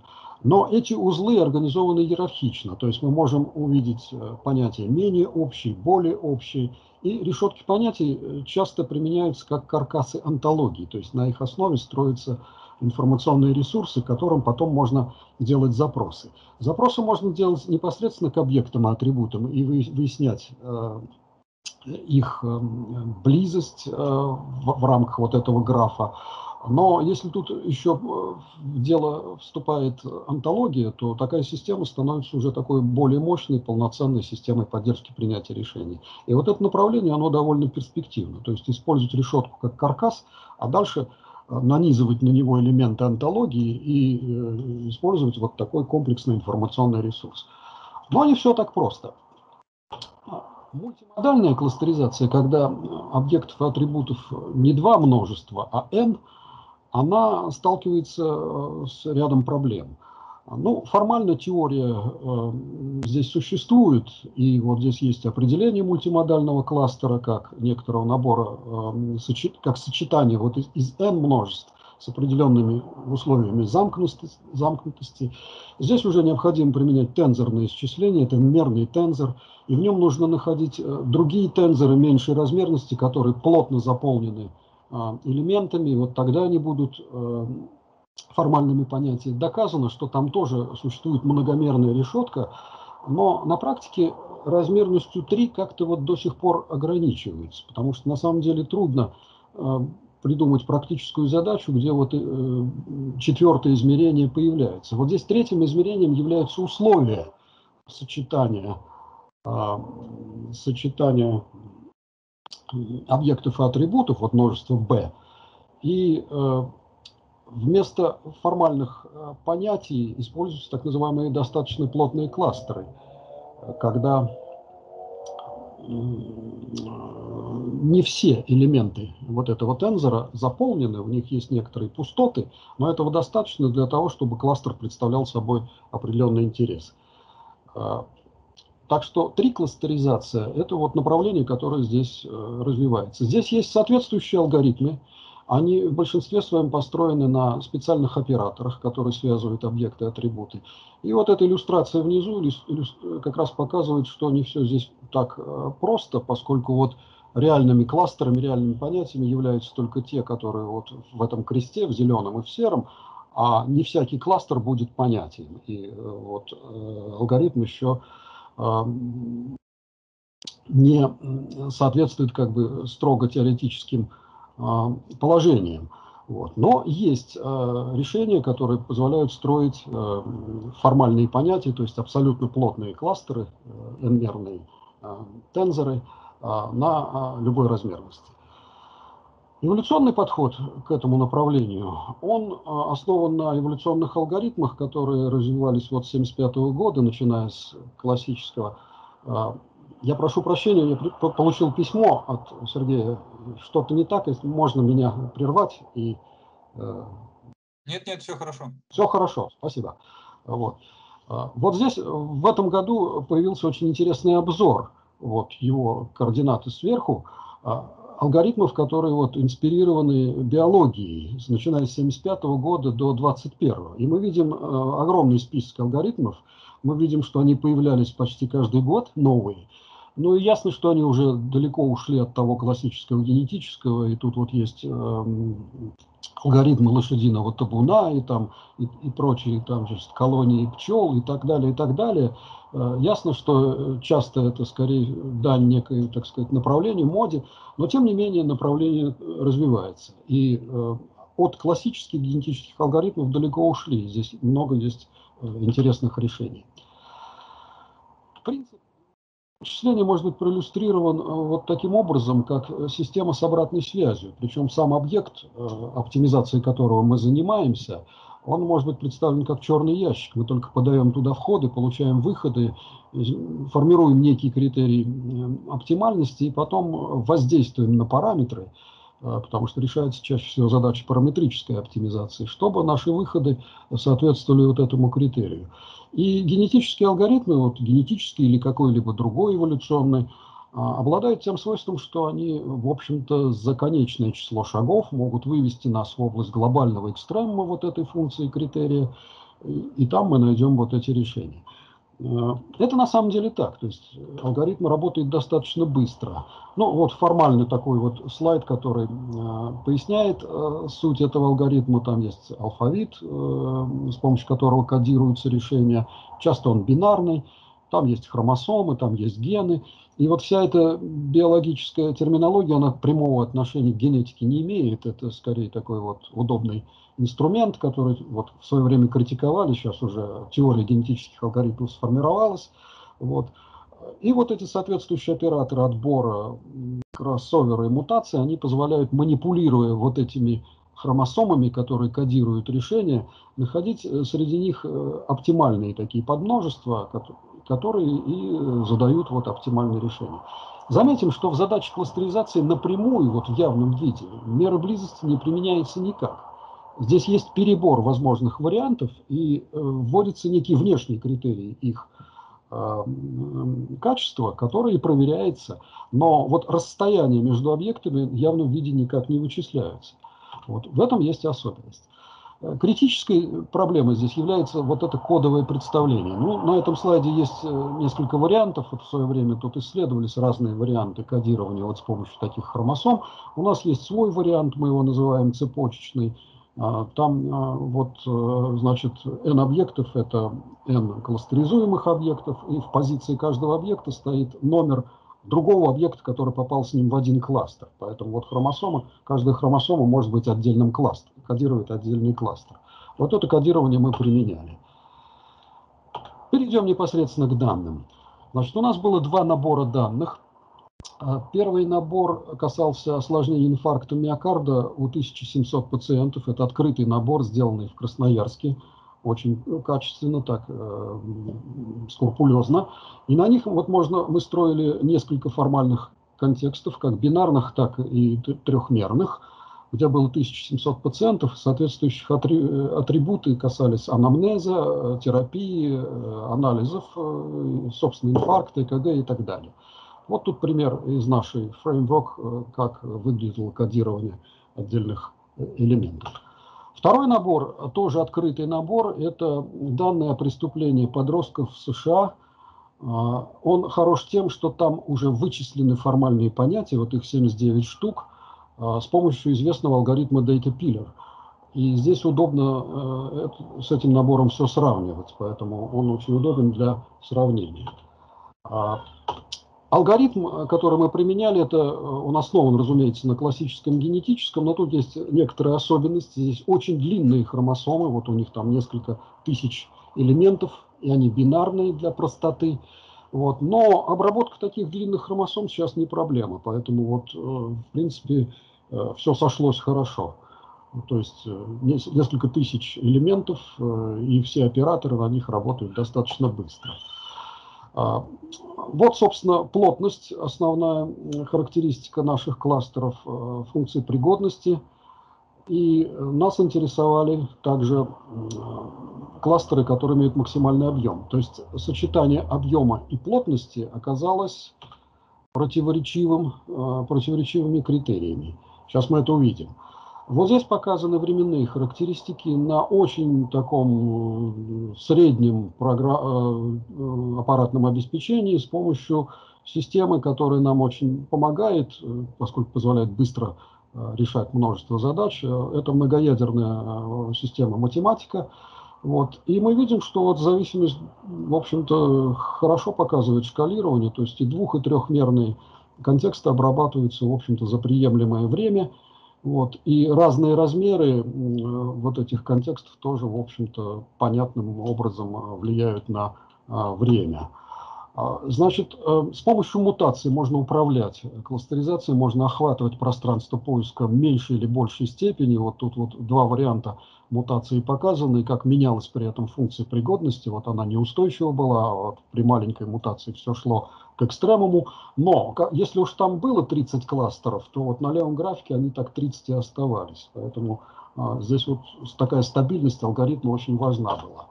Вот то, о чем я говорил. Вот эти два критерия, а, объем кластера и его плотность, они буквально в противофазе себя проявили, и это наводит нас на, на мысль о том, что необходима многокритериальная кластеризация, то есть оптимизация должна быть по двум критериям, они противоречат друг другу. Вот.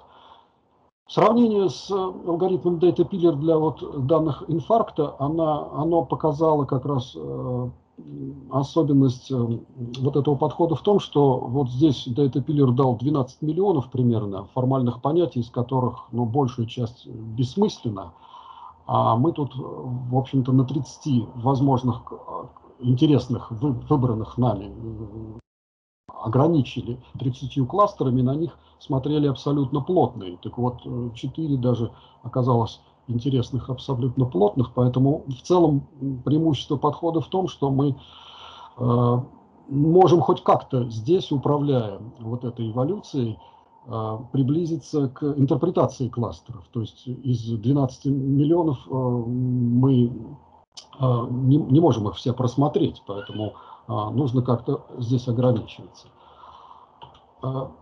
Задача извлечения фактов стоит всегда за задачей кластеризации. Нам они интересны как э, сочетание э, множеств, которые предъявленные нам могут э, нас навести на какие-то э, там размышления и представить буквально факт.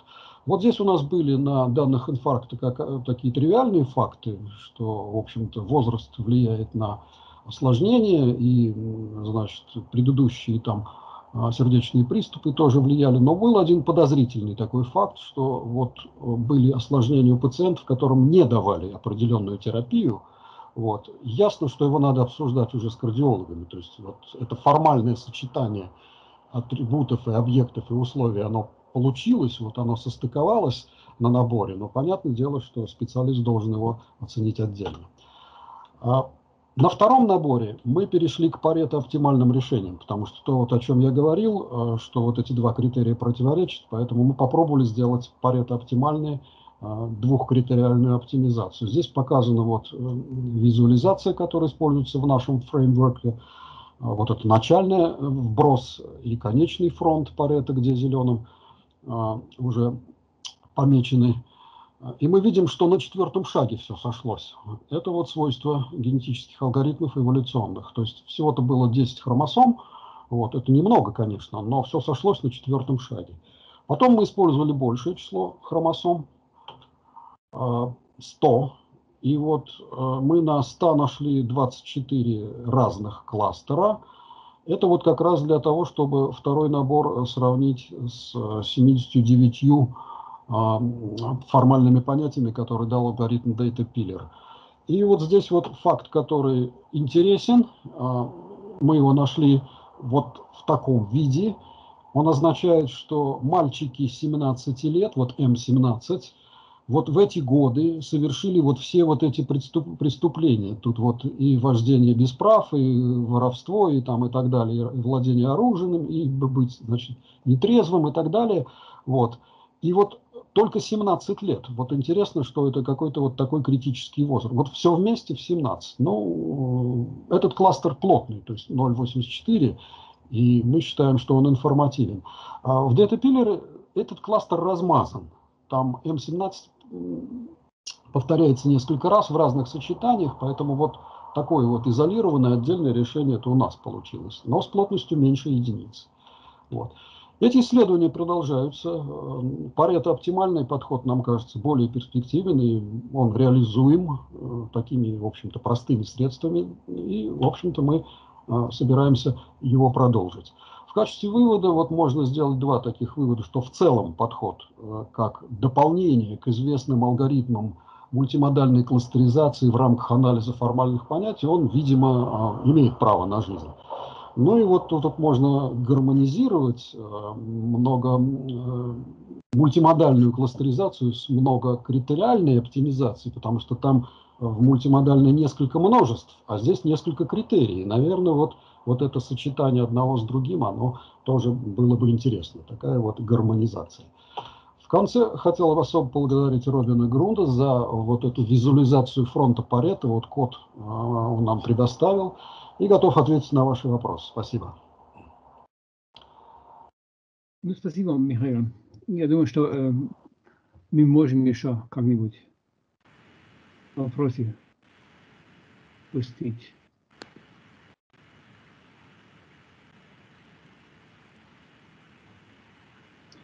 Вы пока еще работаете на э, нормальным э, текстом, как данные. А что получается, если э, э, эти данные не очень, до, э, как это по-русски, не очень до точные? Допустим, даже маленькие ошибки. Данные. Ну, если есть данные, ну, в данном случае надо говорить о формальном контексте, который, который представлен не бинарно. Угу. То есть там есть э, действительные значения, угу. которые а, отражают какие-то экспериментальные измерения. В этом случае есть э, несколько подходов. Ну, два, в общем-то, подхода. Первый подход э, в рамках вот анализа формальных понятий превращает этот небинарный контекст в бинарный. Но там вводятся интервалы. И вот тогда вот эти ошибки, они могут быть нивелированы, то есть мы жестко задаем интервал, и что в него не попадает, мы отфильтровываем. Да. Хорошо. Есть да. еще один подход, когда вот этот двумерный, например, небинарный контекст становится трехмерным бинарным. Но здесь с ошибками уже так не сработаешь. Поэтому вот, видимо, а, вот в первом подходе, который называется концептуальное шкалирование, conceptual scaling, да. там это можно сделать. То есть, а, хорошо. Э, спасибо. Я еще вижу, вижу руку Манюка. Да, дорогой Бернард, это неверный pronunciation. Не Манюк, а Манук. Уже второй раз. И еще третий раз будет. Да, у меня вот такой вопрос. Просто я хочу понять. Вот покажите, пожалуйста, предпоследний слайд. Да нет, Следующее. Да нет. Вот это слайд. Угу. Где резюме идет? Где идет вот? А вот здесь. Вот. На первом пункте говорится следующее, что этот э, подход эффективен. Вот э, эффективный э, средство, да? Вот можно понять, что это означает. Эффективный, эффективное, эффективное средство. Ну, а если мы говорим об алгоритмах, алгоритмическом обеспечении, то э, вот на задачах, когда размерности данных бывают разные, 2, 3, 4, то важно э, шкалирование. То есть при увеличении размерности, как у нас изменяются параметры алгоритма, но в данном случае мы проверяем его время вычисления. То есть растет ли оно линейно, или растет полиномиально, или растет экспоненциально, что уже там полные задачи могут быть давать. Да? В этом смысле вот алгоритм продемонстрировал квазилинейность, чисто экспериментально. А доказать это теоретически довольно сложно, потому что тут много э, таких вот э, эвристических установок в нем. То есть все направление, связанное с эволюционным вычислением, оно такое, э, оно экспериментальное, поэтому там настройки э, часто делаются под задачу, и они могут быть в другой задаче уже не, не актуальны. Вот. Это первое. Второе, с точки зрения вот, интерпретации кластеров. А, основной посыл состоит в том, что э, если мы будем искать точные формальные понятия, вот эти тензоры, то мы начнем, найдем их огромное количество, и э, интерпретировать их будет сложно. Там вот, например, вектор строка, то есть все объекты могут служить понятием без единого атрибута или все атрибуты. Вот. Поэтому нужно э, выбирать из них некие подмножества, которые заранее можно как-то связать э, с э, некоторыми внешними характеристиками. Вот здесь пока две характеристики, объем и плотность. То есть плотность, когда сочетаются э, объекты и атрибуты, вот я на, на двумерном случае могу показать, э, и если все-таки мы находим плотный достаточно тензор, то э, это сочетание может быть информативным. Но там должны быть и объекты, и атрибуты. Мы видим, что одно связано с другим. Вот. На трехмерный, четырехмерный и так далее случае вот этот принцип остается в силе. Объем а, характеризует нам то, что большое достаточное количество объектов и атрибутов связано вот этим отношением. То есть это некая закономерность вот на этих данных. Поэтому оба критерия важны. И поскольку в генетическом алгоритме мы можем управлять этим, то мы можем, в общем-то, как-то заранее себе заказывать вот этот набор кластеров, а потом уже его анализировать. То есть мы управляем процессом кластеризации. В этом смысле вот этот подход объективен. А подходы предыдущие, вот в рамках анализа формальных понятий, мы получим все кластеры, а потом начинаем их последовательно фильтровать, смотреть на них. Ну или фильтровать формально по той же плотности. То есть э, вот не всегда, я не знаю таких вот прямых алгоритмов, основанных на операторах, которые в процессе вычисления кластеров отфильтровали уже бы э, непригодные с точки плотности. Плотность потом проверяется. А здесь мы плотность задаем, она уже может на уровне хромосом э, работать проверяться. То есть вот принцип вот этого генетического алгоритма, когда мы на уровне хромосом работаем, он здесь реализуется. Ну а второе положение, оно чисто такое, ну как бы литературное, вот. То есть как бы естественно, что если у нас несколько множеств, мы хотим одновременно их кластеризовать, а в каждом множестве может быть свой критерий оптимальности, поэтому надо их оба использовать. Нельзя универсальный, например, сумму их. Вот э, обычно ведь плотность и объем кластеров, их как-то в одной функции пригодности можно, можно скомбинировать, там в числитель, в знаменатель поставить, э, со всякими коэффициентами ввести. Вот. Но лучше сделать все-таки вот Парето оптимальное решение. Хорошо. Надо э, еще, Понятно. получается тут интересная вещь. Вот Парето оптимальное решение дает эквивалентные кластеры, они все эквивалентные. А вот когда мы на них смотрим уже вживую, то мы видим, что они разные. Вот эквивалентность с точки вот этих двух критериев. Может быть, надо ввести еще критерий, когда эквивалентность уже будет подтверждена и их э, так, таким вот информационным содержанием. Ну, Хорошо. Вот, если я ответил на ваш вопрос. Спасибо. Я думаю, что э, надо идти вперед. Э, для последнего доклада я вижу, что Михаил Горелов hier. Я здесь.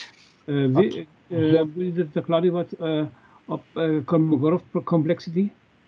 Ну, в частности, буду я об этом говорить немножко. Хорошо, хорошо. Очень да. рад. Э, ну, сначала надо э, э, выключить э, экран, да. Выключил, да? Выключил. Михаил, пожалуйста. Так, сейчас я попробую свой экран. А, вот есть, да?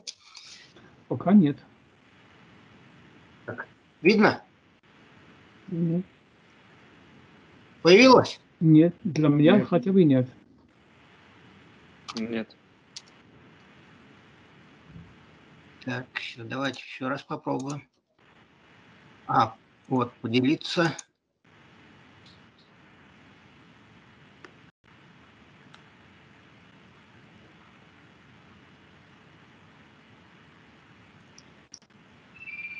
Так.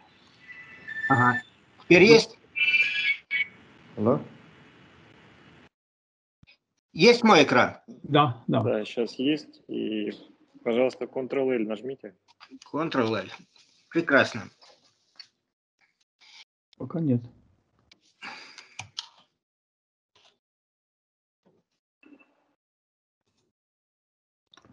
Ctrl-L. А, мгм. Так, есть? Спасибо. Да, спасибо. Вот, со- собственно, мы хотели рассказать о некой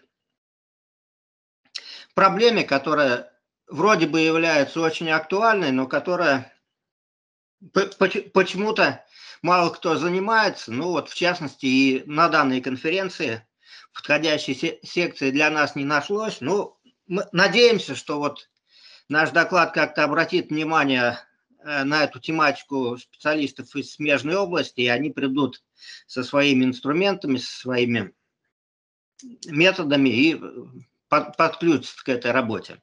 Значит, речь идет вот о чем. Э,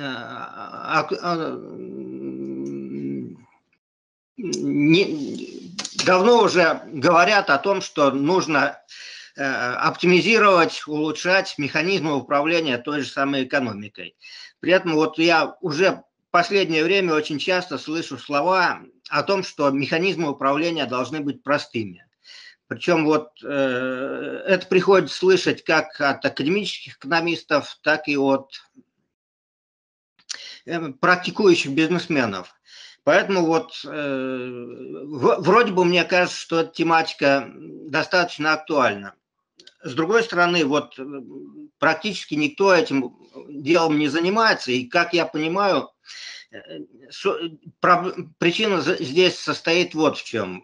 Вот если мы хотим описывать процесс управления какой-то достаточно сложной системой, которую включено несколько су- субъектов, мы много что должны описать. Ну, прежде всего, нужно описать возможности каждого субъекта, нужно описать его интересы, нужно описать его э, информированность, нужно описать его э, отношение к неопределенности. Как, как- как- минимум вот это.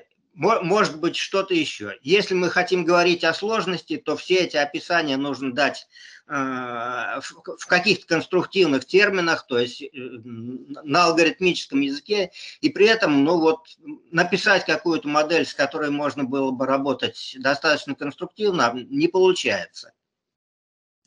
Вот, поэтому м, зде- здесь вот получается некий, некая коллизия с тем, что мы хотим описать, и с тем, что мы описать можем.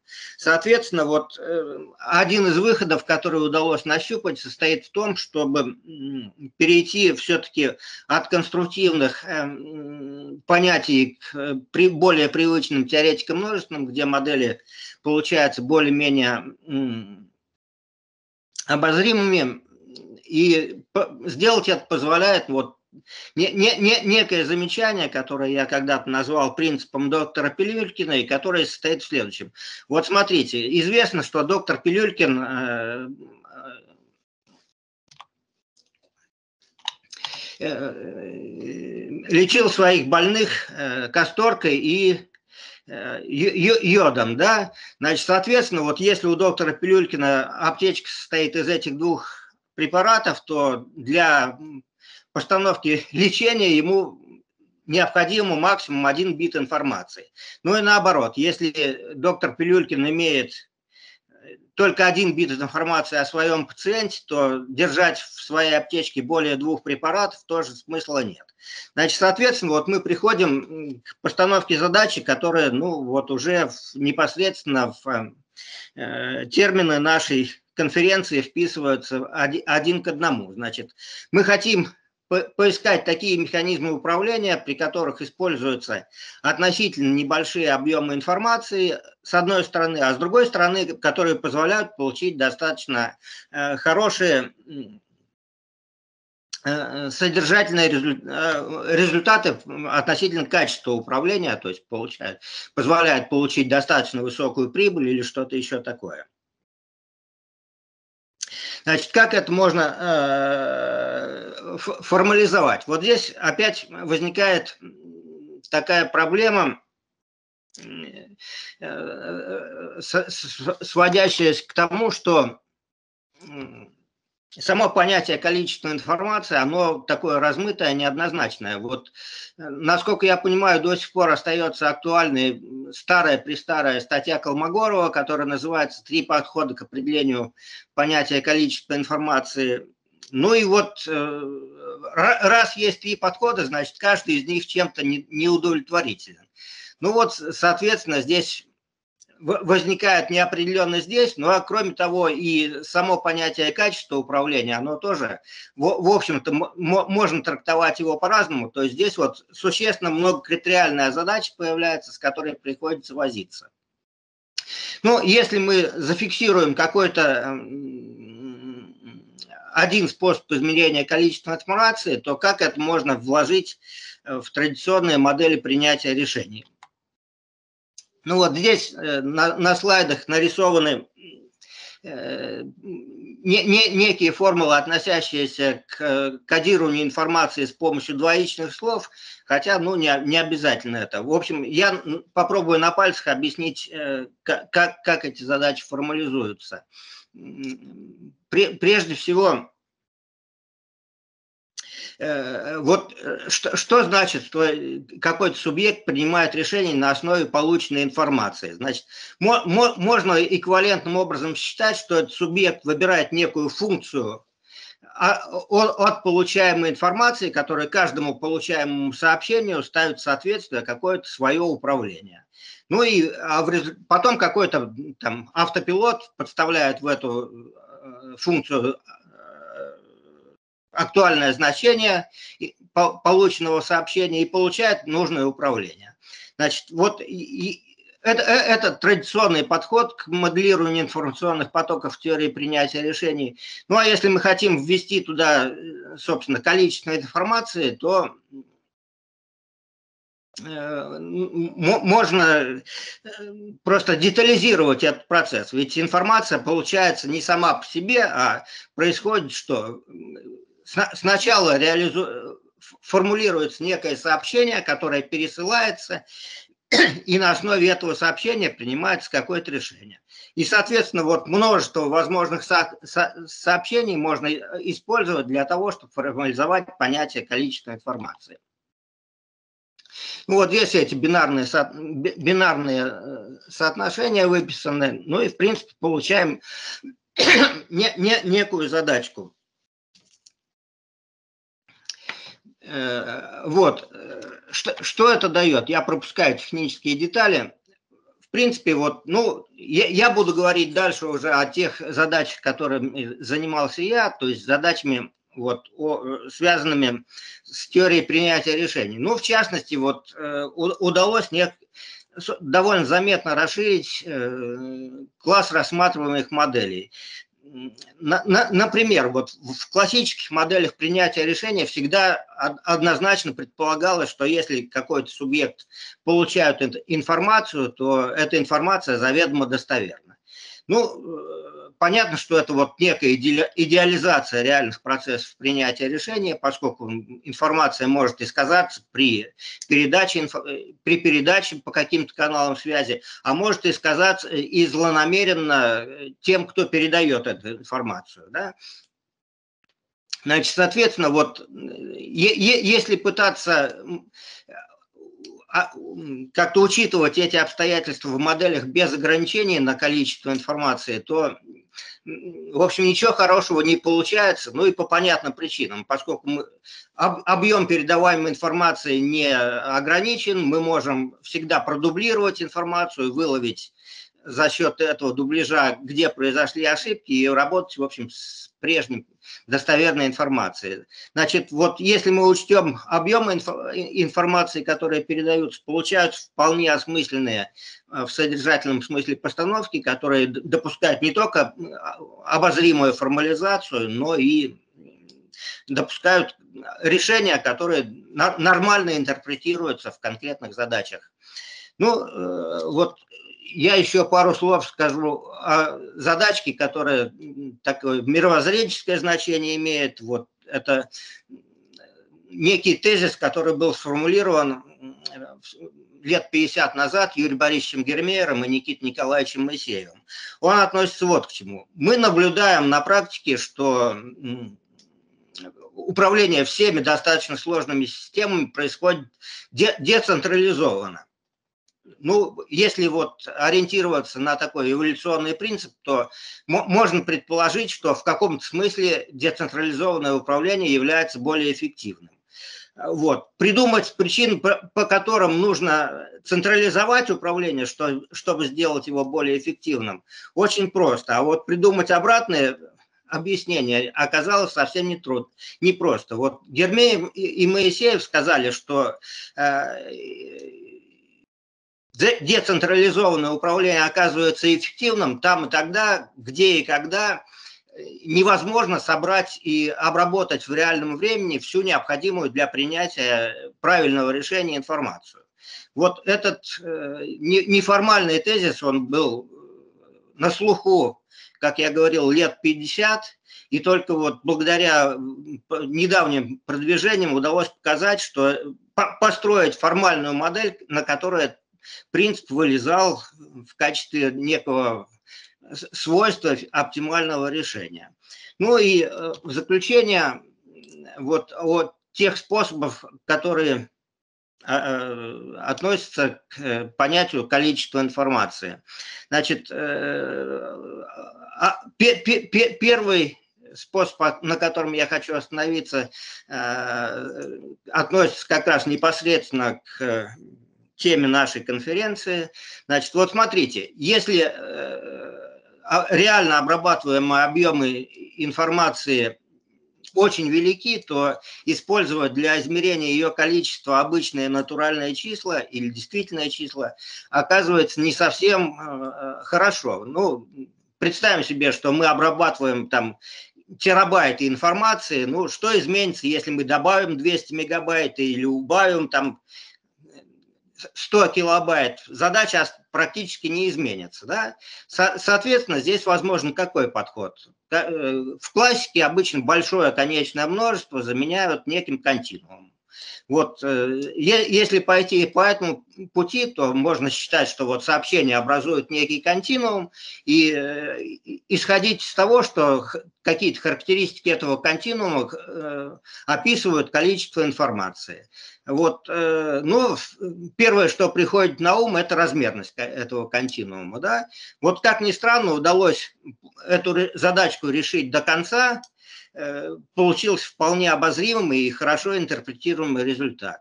Ну и второе направление, это возвращает нас к исходам, к истокам количества, э, теории информации. В свое время Шинон ввел вероятностные характеристики количества информации и как оказалось, вот введенное им понятие энтропии является очень эм, эффективным не только непосредственно в задачах передачи информации, но и в гораздо более широкой э, контексте. Значит, э, здесь мы что можем сказать? Если вводить какие-то аналогичные понятия для теории принятия решения. Понятно, что здесь вот такой одной универсальной меры количества информации придумать не удается. Все должно зависеть от, от тех целей, которые мы хотим достичь при управлении объектом. Значит, соответственно, ну вот как, как, как показывает практика, вот эти задачи оказываются довольно сложными, но тем не менее потихонечку поддаются решению. Значит, соответственно, вот я бы хотел э, на, на этом закончить, если позволите, я. Thank you. Um, do we have questions for Mikhail? Э, скажите, пожалуйста, да. вот, а какое минимальное количество информации должно быть для принятия решения? Вот объемы это понятно, так сказать, что они давят сейчас, так сказать, лиц, принимающих решения. Ведь э, ну, вот персонализация обслуживания, наши э, информационные продукты рассчитаны на множество пользователей, поэтому они имеют очень большой объем информации, на все случаи жизни как бы рассчитаны. Конечно, да. А как вот делать, чтобы минимальный-то, вот по теории-то, как это должно получаться? Ну, вот э, я, я, я говорил, что здесь все, э, все зависит от того, какую задачу мы решаем. И, грубо говоря, вот э, э эти объемы э, в, в основном определяются вот такой топологией функции выигрыша. Вот если у вас функция выигрыша, грубо говоря, какая-нибудь выпуклая однопиковая, то э, как, скорее всего вам будет достаточно там одного бита информации, но правильно сагрегированной. Как, как это сделать? Я, я, я, честно говоря, не знаю. Значит, если у вас функция выигрыша какая-то сложная, много, многопиковая, то здесь и объем информации может быть э, го, гораздо больше, но и, и, и способы ее агрегирования, соответственно, могут оказаться тоже. Ну вот гидрометеорологии необходима тенденция, главное знать. Вот значение существующее, а дальше будет рост или останется на том же уровне, или будет уменьшаться давление, там увеличиваться скорость ветра. И нужно всего пять цифр, чтобы тенденцию явно видеть. Вот. Вот, вот, вот, вот это вот, э, вот этот эффект, о котором вы сказали, моделями, которыми я занимался, ловится очень хорошо. Вот если вам надо 5 эффектов, то и, соответственно, и Э, это вылезет из задач, которые вы решаете. Ведь, ну, вот мы, мы, мы говорим не просто об информации, а информации для принятия решений, да? Да, ну, да. Чтобы переходить на, на ваш язык, да, вот я принимаю решение, как мне одеться, когда я выхожу на улицу, да? да, да. Значит, Дождик кончится через три минуты или через три часа. Это разные же вещи. Да, совершенно верно. Значит, для этого мне нужна информация о, о том, какая погода вот в, то, в том месте, где я нахожусь, какая температура, идет ли дождь, э, какой ветер и, ну, как вы сказали, когда этот дождь кончится. Вот э, под эту задачу мы выбираем список показателей, которые нас интересуют. Да? То, то есть вот, вот это количество информации, которое, которое я, я, я должен использовать в своей задаче решения, а, а, оно и диктуется видом моей функции выигрыша. Да? В реальных экономических задачах там, конечно, приходится использовать больше информации, хотя Понятно, что реально можно использовать, реально используются объемы информации, которые э, гораздо меньше, чем хранится вот в э, базах данных там на биржах и так да, далее. Да. Вопрос в том, чтобы эту информацию а, а, правильным образом суметь сагрегировать. Понятно, спасибо. Хорошо. Я думаю, что вот э, скоро надо заканчивать сессию. Я, I think all speakers for the talks given. And I hope you are ready for tomorrow morning at 11 o'clock, um, I think Moscow time, for the next keynote. My special thanks uh, for practicing a good English language is going to Daria Petrenko. That was really fun.